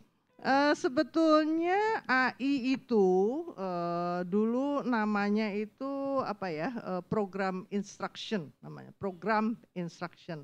Itu didevelop oleh uh, Skinner dan sebagainya itu sekitar tahun 40-an ya. Itu dengan uh, apa uh, premis yang sederhana jika ini maka itu jika ini maka itu jika ini maka itu ya. Itu uh, teorinya Skinner itu behaviorism ya jika dia dikasih ini nanti akan ada feedback seperti ini. Jika dikasih itu dia ada reaksi seperti ini. Very simple. Terus develop itu menjadi satu yang disebut program instruction. Satu program untuk si anak itu belajar secara mandiri. Kalau zaman dulu tuh ada buku ya yang dibilang oke okay, kalau Anda sudah selesai halaman ini silahkan loncat ke halaman 20. Nanti dari halaman 20 coba lihat gambar di halaman 15. Bolak-balik tuh ya ada itu namanya buku seperti itu zaman dulu masih buku ya. Terus kemudian ada yang namanya computer assisted instruction gitu ya. Ada ada video yang bisa dibolak-balik, ada apa? slide yang bisa dibolak-balik dengan program instruction itu. Nah, lama-lama itu dikembangkan menjadi satu tanda petik multimedia ya. Tapi multimedia pun pada saat web uh, eh, 1.0 itu berbasisnya kan masih uh, tidak web gitu ya. Jadi masih uh, apa uh, harus fisikal gitu ya, tidak di cloud, tidak di internet ketika ada web uh, eh, 1.0 dia masuk ke web tapi itu masih uh, apa ya single uh, apa satu arah saja ya, ya kita nggak bisa interaksi. Gitu ya. Jadi mau ngetik uh, balik ke sana balik ke sini itu belum bisa. Nah baru web 2.0 itu baru berinteraksi. Tapi ini orang-orang pinter kan makin banyak gitu ya. Jadi cepet gitu ya. Berkembangnya sampai tahun 2022 udah ada tuh yang namanya yang pinter banget. Jika ini maka itunya tuh udah cepet bener gitu ya. Uh, sehingga muncullah apa yang disebut chat GPT dan sebagainya it's part of the history of AI which is very beautiful very long concise in five minutes thank you professor okay uh, floor, uh, I'm opening it to you before I go back to the uh, social media realms. Is there any questions from the floor?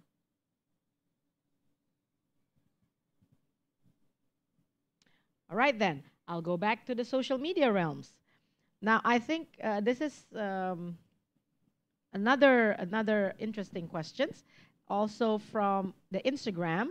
It is asked by Mia, and Mia asked, in what ways in what ways has the age of artificial intelligence impacted various industries? I know we are already talking about the education industries, but maybe we can talk about different industries this time.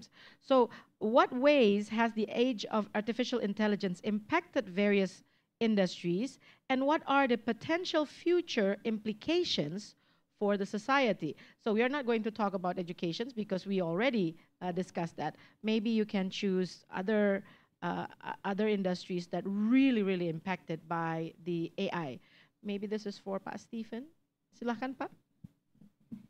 Iya, uh, banyak industri ya. Aku menyapa dulu yang dari Instagram. Ya, Mia. Halo Mia, yang dari Instagram nih. Uh, semoga bisa menyaksikan. Uh, mungkin aku mau kasih satu sampel yang cukup hugely impacted beside education. Dan ini quite trending topic recently, yaitu di bidang animation or art.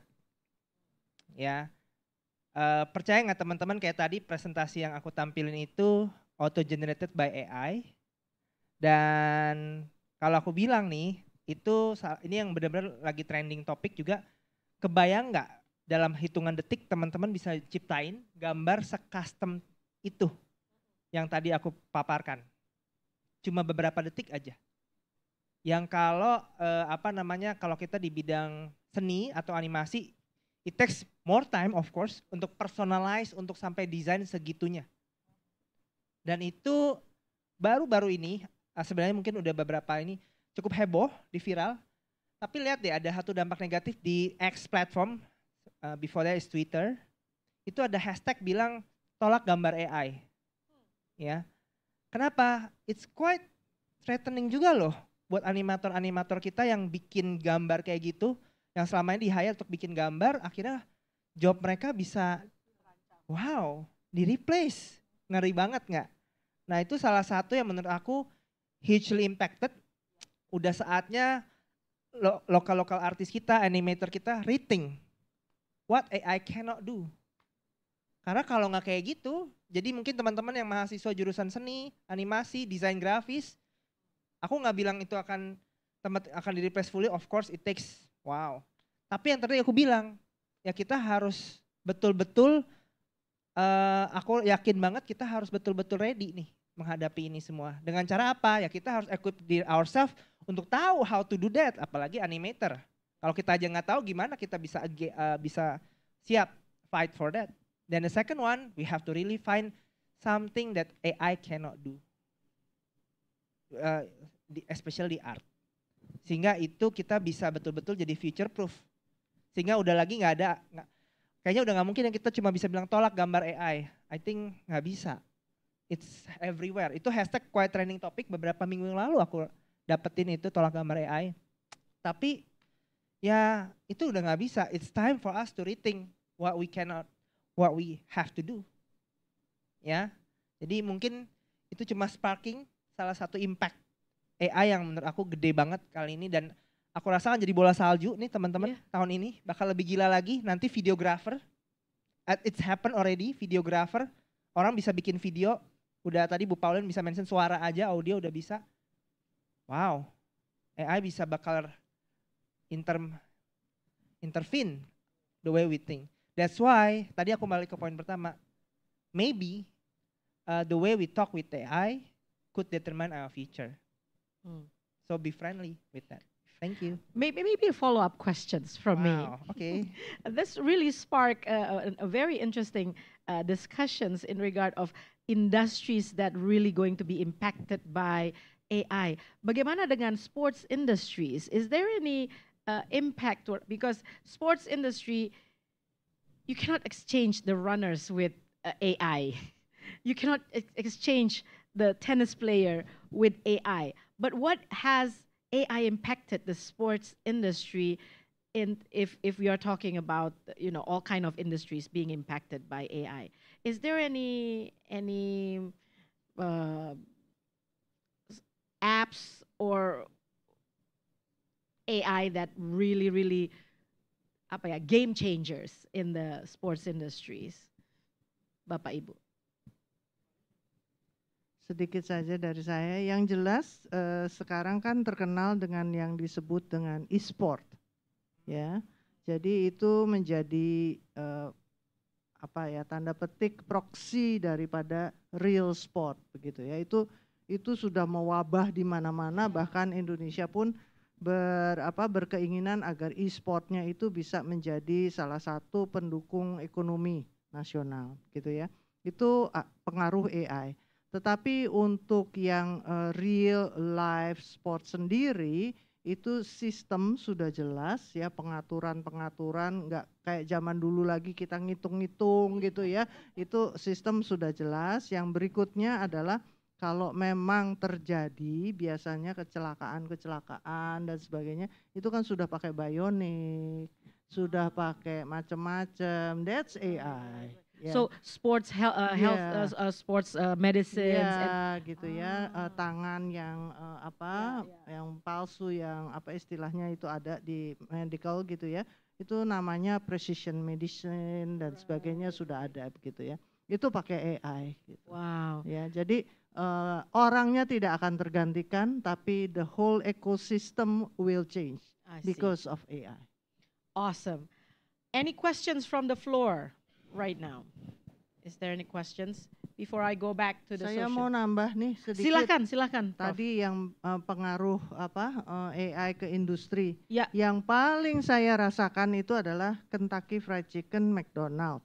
Oh wow, interesting. Kenapa? Why? Karena ternyata tiba-tiba kalau saya masuk sekarang itu sudah tidak ada yang melayani. Semua harus pakai. That is true. Benar nggak? That ya? is true. Nah itu tak bilang, waduh sudah AI ini mati deh gitu. Ya, ya kan semua And, sudah harus yeah. sendiri dan sebagainya. Betul sekali. Tidak ada lagi yang melayani. I miss the warmth of the sales girl. That if, if, even that, you know, they should not change the serve uh, serve environment into an AI. It really make the restaurant not a restaurant, isn't it? But efficiency, I guess, in the name of efficiency and economize everything. So that's go- that's that's really really impacted the food industry, especially the fast food industries. Yes, I agree, uh, Prof. Any questions from the floor? Right now. I will go back to the social media realm then. So this is a questions again from Instagram. I hope this the Instagram questions is not generated by AI by the way. Wow. I'm just kidding. I'm sorry. Catherine, this is a questions from you. Uh, you put in Instagram. Uh, this is Catherine, uh, Bapak Ibu. Catherine asked, can you discuss the ethical considerations? Ooh, we did. We did. Um, you did mention a little bit about ethical considerations surrounding the age of artific artificial intelligence, especially regarding issues like privacy, bias, and job displacement. I guess this is uh, becoming a concern, uh, concerning issues to everybody, not just in educations, but probably in all kind of industry in this matter. So I will open this floor either for Professor Pauline or uh, Pak Stephen. Silahkan. Saya dulu ya. Ya, silahkan Prof. Terima kasih. Uh, Catherine, uh, isu besar sekali memang tentang etik uh, dalam uh, urusan artificial intelligence ini dan sampai sekarang kita memang belum punya ya, uh, baik di dalam negeri maupun di luar negeri yang firm ini loh boleh the do's and the don'ts-nya itu tidak ada karena memang sangat liquid dan perubahannya itu luar biasa cepatnya juga gitu ya. Jadi kemarin dibilang nggak boleh, tahu-tahu sekarang udah udah boleh gitu ya. Nah jadi cuma kita kita aja yang hati-hati. Ini balik lagi kalau saya bilangnya ke pendidikan karakter bangsa. Tidak lebih dan tidak kurang bahwa kita perlu dibekali moral uh, dalam memanfaatkan apa pun gitu ya. Jadi kalau kita befriend dengan AI, AI can do everything according to us, tapi tetap it's only a tool, it has double meaning, it has uh, two apa sides of the swords, pasti ada positifnya, pasti ada negatifnya. Contoh teman-teman, apakah kalau misalnya saya sudah menciptakan sesuatu dengan AI seperti tadi uh, Pak Steve menciptakan uh, apa gambar tersebut, apakah itu akan disebut itu ciptaan Pak Steve? Atau itu kita akui tadi Pak Steve secara gentleman mengakui ini adalah hasil dari AI. Ya kan? Nah, kalau hasil dari AI biasanya dia akan bisa kita trace ke belakang itu nanti apa namanya istilahnya uh, apa uh, metadatanya gitu ini asalnya dari mana saja gitu ya dan sebagainya itu bisa tetapi kalau tidak diakui misalnya saya datang ke ibu sebagai dosen saya bu ini loh gambar saya bikin sendiri iya, iya. bikin sendiri gitu ya Pak Steve ya nah jadi it's only moral choice yang yeah. bisa mengantarkan kita untuk menggunakan uh, sesuatu secara etis. Terima kasih. I remember uh, in the last in the last not not this uh, election seasons, but I think the last election seasons itu banyak uh, caleg-caleg uh, yang tiba-tiba cantiknya luar biasa. yang yang saya tahu di TV nggak begitu-begitu amat tampangnya, tapi begitu lihat di foto, it's absolutely kinclong, it's absolutely glowing, and suddenly so and they they really insist that that's their pictures. You know, they've been having treatments. They say yes, treatments by AI for that matter. the same questions, Pak Stephen. What's your take on this? Oke, okay, untuk privacy ya tadi uh, ethical consideration, ethical consideration and, yeah, especially privacy. privacy. Dan aku cuma mau teman-teman sebelum pakai AI di mana pun platformnya, mungkin paling gampang nih teman-teman, you can try to check um, number one privacy policy in every platform. Ya, for example, as simple as mungkin sekarang bisa pakai dicari ya, Chat GPT privacy policy and Google Bard privacy policy. They clearly stated kok uh, uh, what data they, they use. Dan to be honest nih, terus terang kalau ditanya privacy nih teman-teman, sebenarnya kan ketika kita pakai AI, Chat GPT itu kan kita masukin data, betul nggak?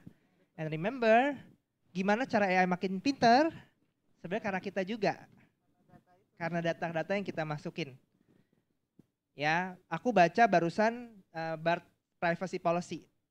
Ya, dia bilang bahwa uh, apa namanya? Setiap kita masukin chat itu, itu tuh uh, di review sama dia, diproses.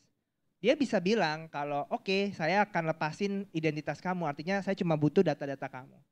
Tapi uh, kemarin saya ketemu satu guru yang kebetulan nanya ke saya, kalau saya misalnya mau masukin jawaban koreksian dan minta AI ngecek, which is sekarang bisa loh, bener kata Bu Pauline tadi.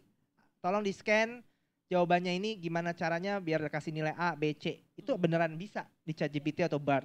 Jadi you just take a picture or copy paste jawabannya, kasih aja minta BART yang nilai, itu bisa. Tapi pertanyaannya sekarang gimana kalau uh, esai yang kita copy taruh di BART atau ChatGPT itu ada personal information. Ya or something yang sebenarnya ya ya begitu ya ada insurance informasi. Memang Bart sama ChatGPT bilang kalau dia nggak akan ngambil lah ya.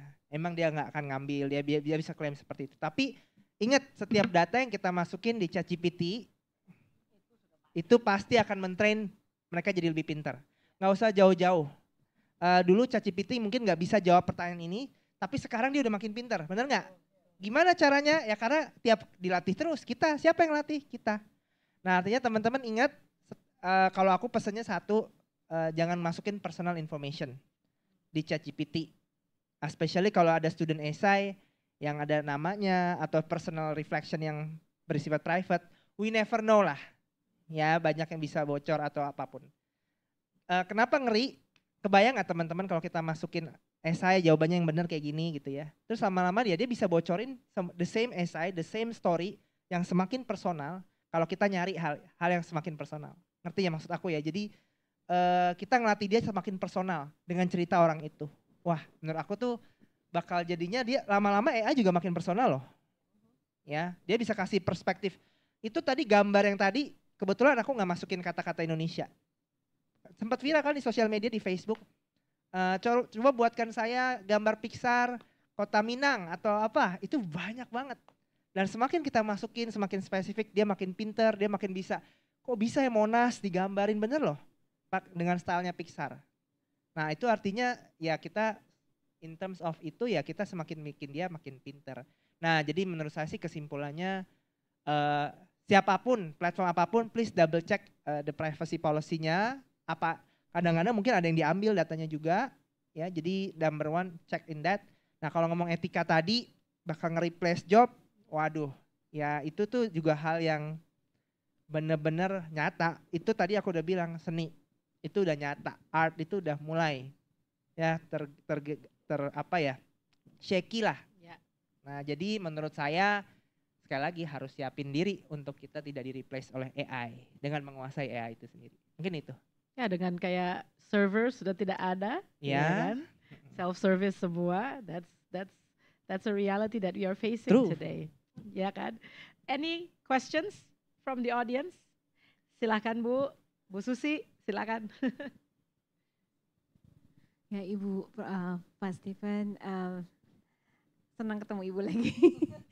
uh, ya, uh, jadi uh, apa berhubungan dengan etika tadi, saya lagi berpikir uh, preparing for age of AI. Jadi sebagai pendidik, sebagai guru misalnya, sepertinya kita perlu sekali uh, mempersiapkan kita sendiri, ya, juga anak didik kita tentang yang saya berpikir tentang information uh, apa bukan information, AI literacy ya Bapak Ibu ya. Karena saya bingung gini, um, literasi seperti apa ya? Karena tadi kan misalkan saya mengajar menulis, um, kemudian kita ribut gini, aduh anak nyontek dari Grammarly gitu loh. Um, terus bagaimana membuat, kadang-kadang mereka tidak ngesense, are you satisfied with this apa uh, work? Yes gitu. Padahal itu kita tahu bahwa kemampuan menulis mereka itu tidak seperti itu gitu. Tapi sense bahwa itu tidak benar gitu ya bahwa Grammarly betul bisa digunakan tapi kemudian itu bisa mengupgrade yang dari in, apa lower intermediate to advanced uh, writer kan kayaknya kita juga nggak rela gitu. Jadi sepertinya saya melihat bahwa literasi seperti apa yang perlu kita siapkan untuk uh, ya kami sendiri sebagai pendidik biar kita paham dulu uh, supaya kita bisa mentransfer uh, apa ya value-value yang yang tadi yang AI tidak bisa uh, jamah gitu. Terima kasih. Mungkin ini saya serahkan dulu kepada Prof. Pauline. saya ya.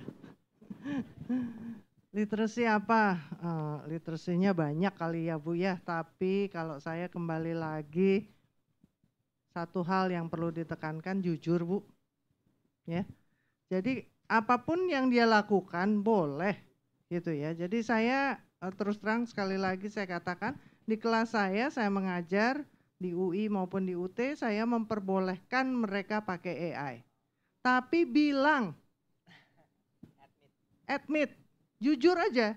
Jadi uh, ini jawabannya Bu, sumbernya itu adalah antara lain dengan AI atau chat GPT misalnya seperti itu. Boleh, tapi harus bilang.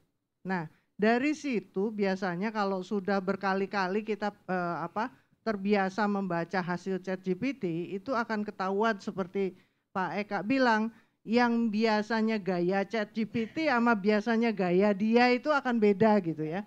Nah, kalau gaya dia dibagusin dikit sama Grammarly nggak apa-apa lah bu gitu ya. Itu namanya juga usaha. Itu salah satu skill yang yeah. juga kita perlukan ya untuk untuk memperbaiki diri dan sebagainya itu salah satu skill yang kita perlukan.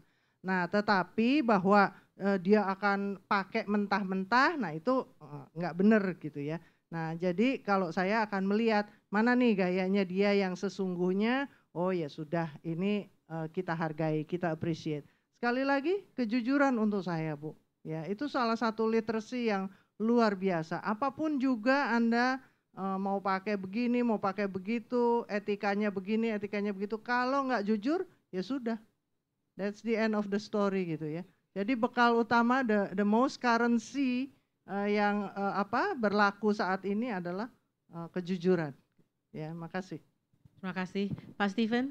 Ya, kalau saya izin nambahin Bu, uh, mungkin mau ngajarin literasi ya AI ya, basicnya one on one. Aku setuju banget. Salah satunya kejujuran, yang kedua juga kalau aku mau tambahin, uh, barusan ini barusan banget ada dirilis tahun lalu tuh ada namanya AI Literacy Course dari Common Sense Education.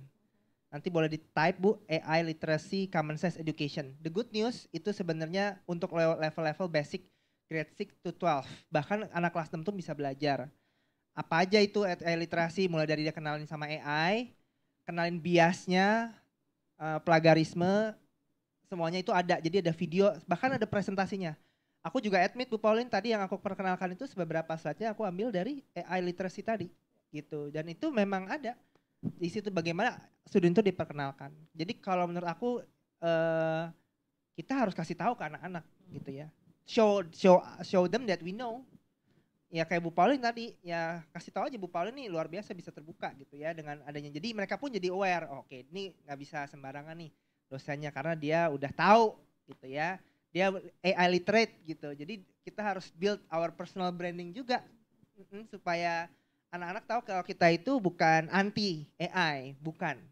Ya, tapi kita mau ajarin anak-anak how to be responsible user of AI. AI boleh dipakai tadi kata Bu Pauline, itu skills, saya aku setuju banget. Tapi gimana how to use it responsibly? Mungkin tambahin kali dalam rubrik karya tulis ibu tentang AI. Dalam penilaiannya bisa. Sehingga anak-anak tahu what expected of AI use. Ya, jadi ada kadar AI dan kelihatan, oh gawat nih berarti gue diminta pakai AI, tapi at the same time gue dinilai kayak cara gue pakai AI. Itu bikin mereka jadi tahu apa yang harus dilakukan. So put it as a part of your rubric assessment. So it will be assessed. Ya, satu Another kriteria. inspirations. Thank you. Another inspirations. Yeah. Very good idea. I think I'm going to incorporate that in my semester. My students beware. um, I think I have to go back to the uh, social media re- realms here. I have a, a, final questions from social media. Again, it's still from Instagram. It's from Dio, Dio, and this is related to policymaker.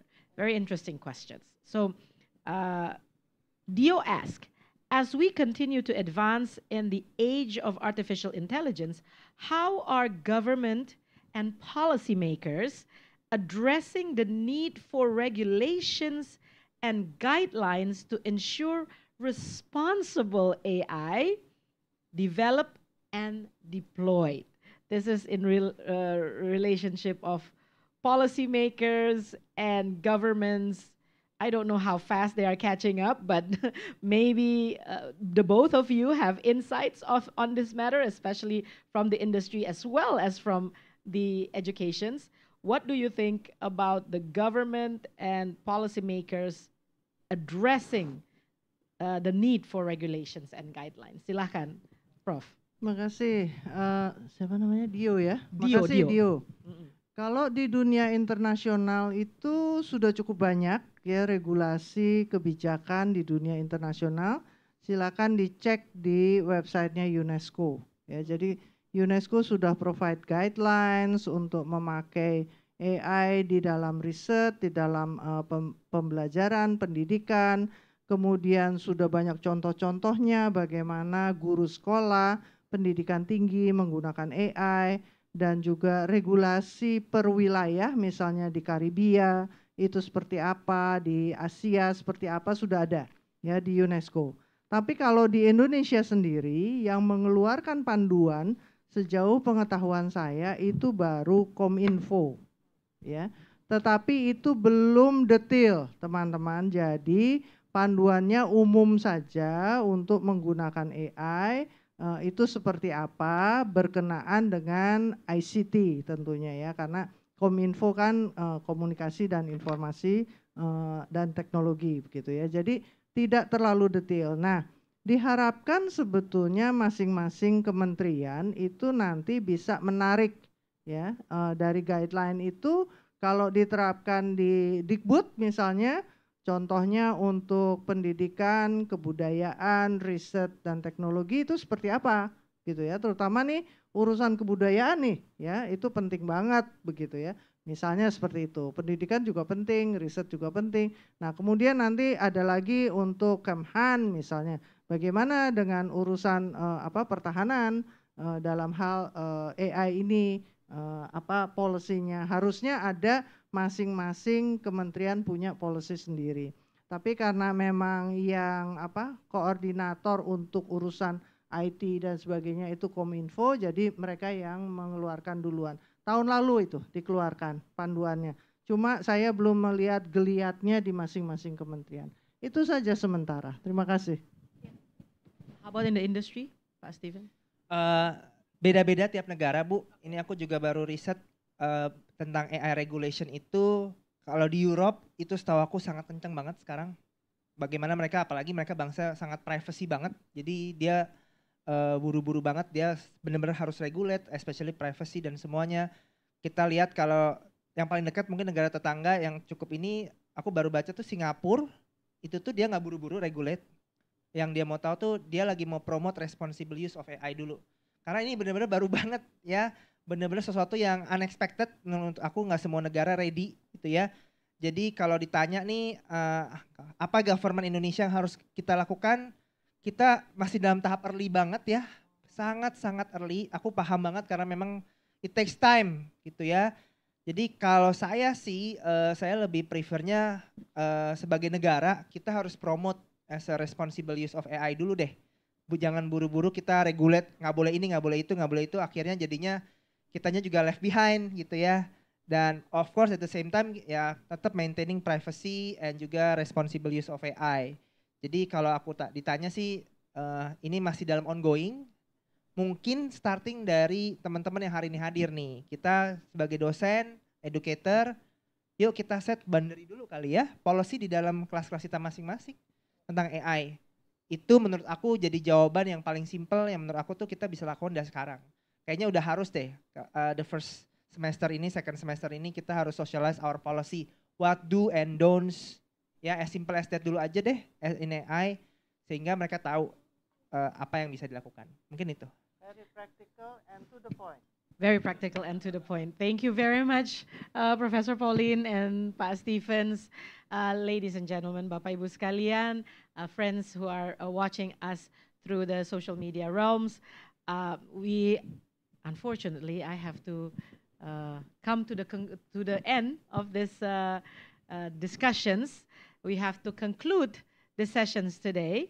Uh, I would like to uh, give a few pointers, notes uh, for us to take back that we need to remember as we continue our journey in the AI realms. Like I, as per both uh, Professor Pauline and uh, Pak Stephen said, AI is here to stay, ladies and gentlemen. You cannot go back. They are going to be here, they are going to continue to develop, and they are fast in the development. So, what can we do? What can we do so we don't get crushed, we don't get left behind? We need to collaborate, we need to learn, we need to force ourselves to use it, learn it, and befriend with it, collaborate with it. And we are going to also uh, work with our students, work with other people to use AI in an ethical way. There are so many ways that we can use AI not ethically, but as teachers, as educators, teach your students, give them AI literacy, AI ethical literacy uh, since the beginning. Regulations, uh, policies, they are not going to catch up anytime soon. So it is up to us to help our students to be a responsible and ethical users of AI. So, with that said, unfortunately, we have come to the end of our discussions. Very, very engaging, very interesting. I hope we can do this again, uh, Professor Pauline and uh, Pat Stephen. This is very, very up to date. So I would like to express my sincerest gratitude to each and everyone, uh, each and each of you uh, that already present this very, very insightful um, issues, and also everyone who are watching today here in the in at, in at America as well as in social media realms through at America social media. Today has been a remarkable journey filled with insightful discussions, diverse perspective from policies to arts and uh, and everything in between. Yeah. So before we wrap it up, let's take a moment to acknowledge again, once again, the incredible speakers, Papa Stephen and Professor Paulina. Please give a round of applause. Their expertise, their passions, and willingness to engage have made this gathering this discussions truly, truly insightful and exceptional. I also extend heartfelt thanks to Ad America and Sampurna University, who have worked tirelessly behind the scenes to bring this event to fruition. Your dedications has not gone unnoticed, and we appreciate the support that has made today's discussions possible. So as we reflect on the conversations, discussions, and ideas exchanged throughout the day, I encourage everyone to carry these insights forward. Let's turn our discussions into actions. So just don't say, you know, yeah, you have to be honest, but let's try to apply that honesty, not just uh, in our classroom, but ask our students also to apply that without being uh, judged yet by us as educators. So discussions into actions, finding ways to collaborate, like uh, don't be ashamed to learn new AI. I, I already asked Pat Stephen on the, uh, what was that again? Bing image. I'm, I'm, I'm definitely going to try that. yeah, uh, and innovate, okay? It, maybe our students will have more innovations and interesting ideas and creativities that we don't know yet. Yeah? So let's all of us, especially educators, make positive impact in our students' life, in our uh, classroom, in our learning sessions. Remember that success of this event, event like this lies not only in the conversations that happen here, but in the ongoing effort and collaborations that follow. Let's continue to build on connections made today and use the knowledge gained to drive positive, ex, uh, positive change. As we bring this discussions workshop to a close, let's carry the spirit of collaboration, learning, and inspirations with us. Thank you, everybody, and I return this mic to our e-guide.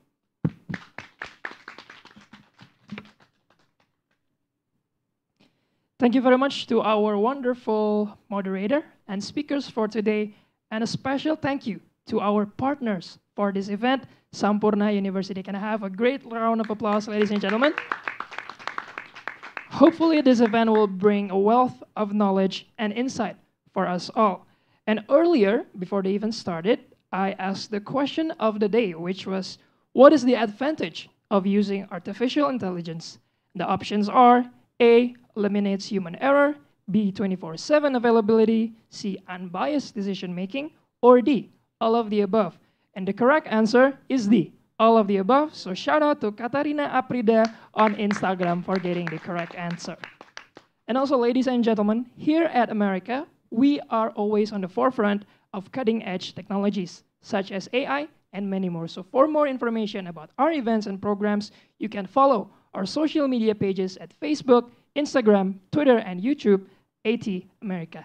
And that wraps up our event for today. My name is Aldi from the entire Ad America team. Thank you and see you next time. Bye bye.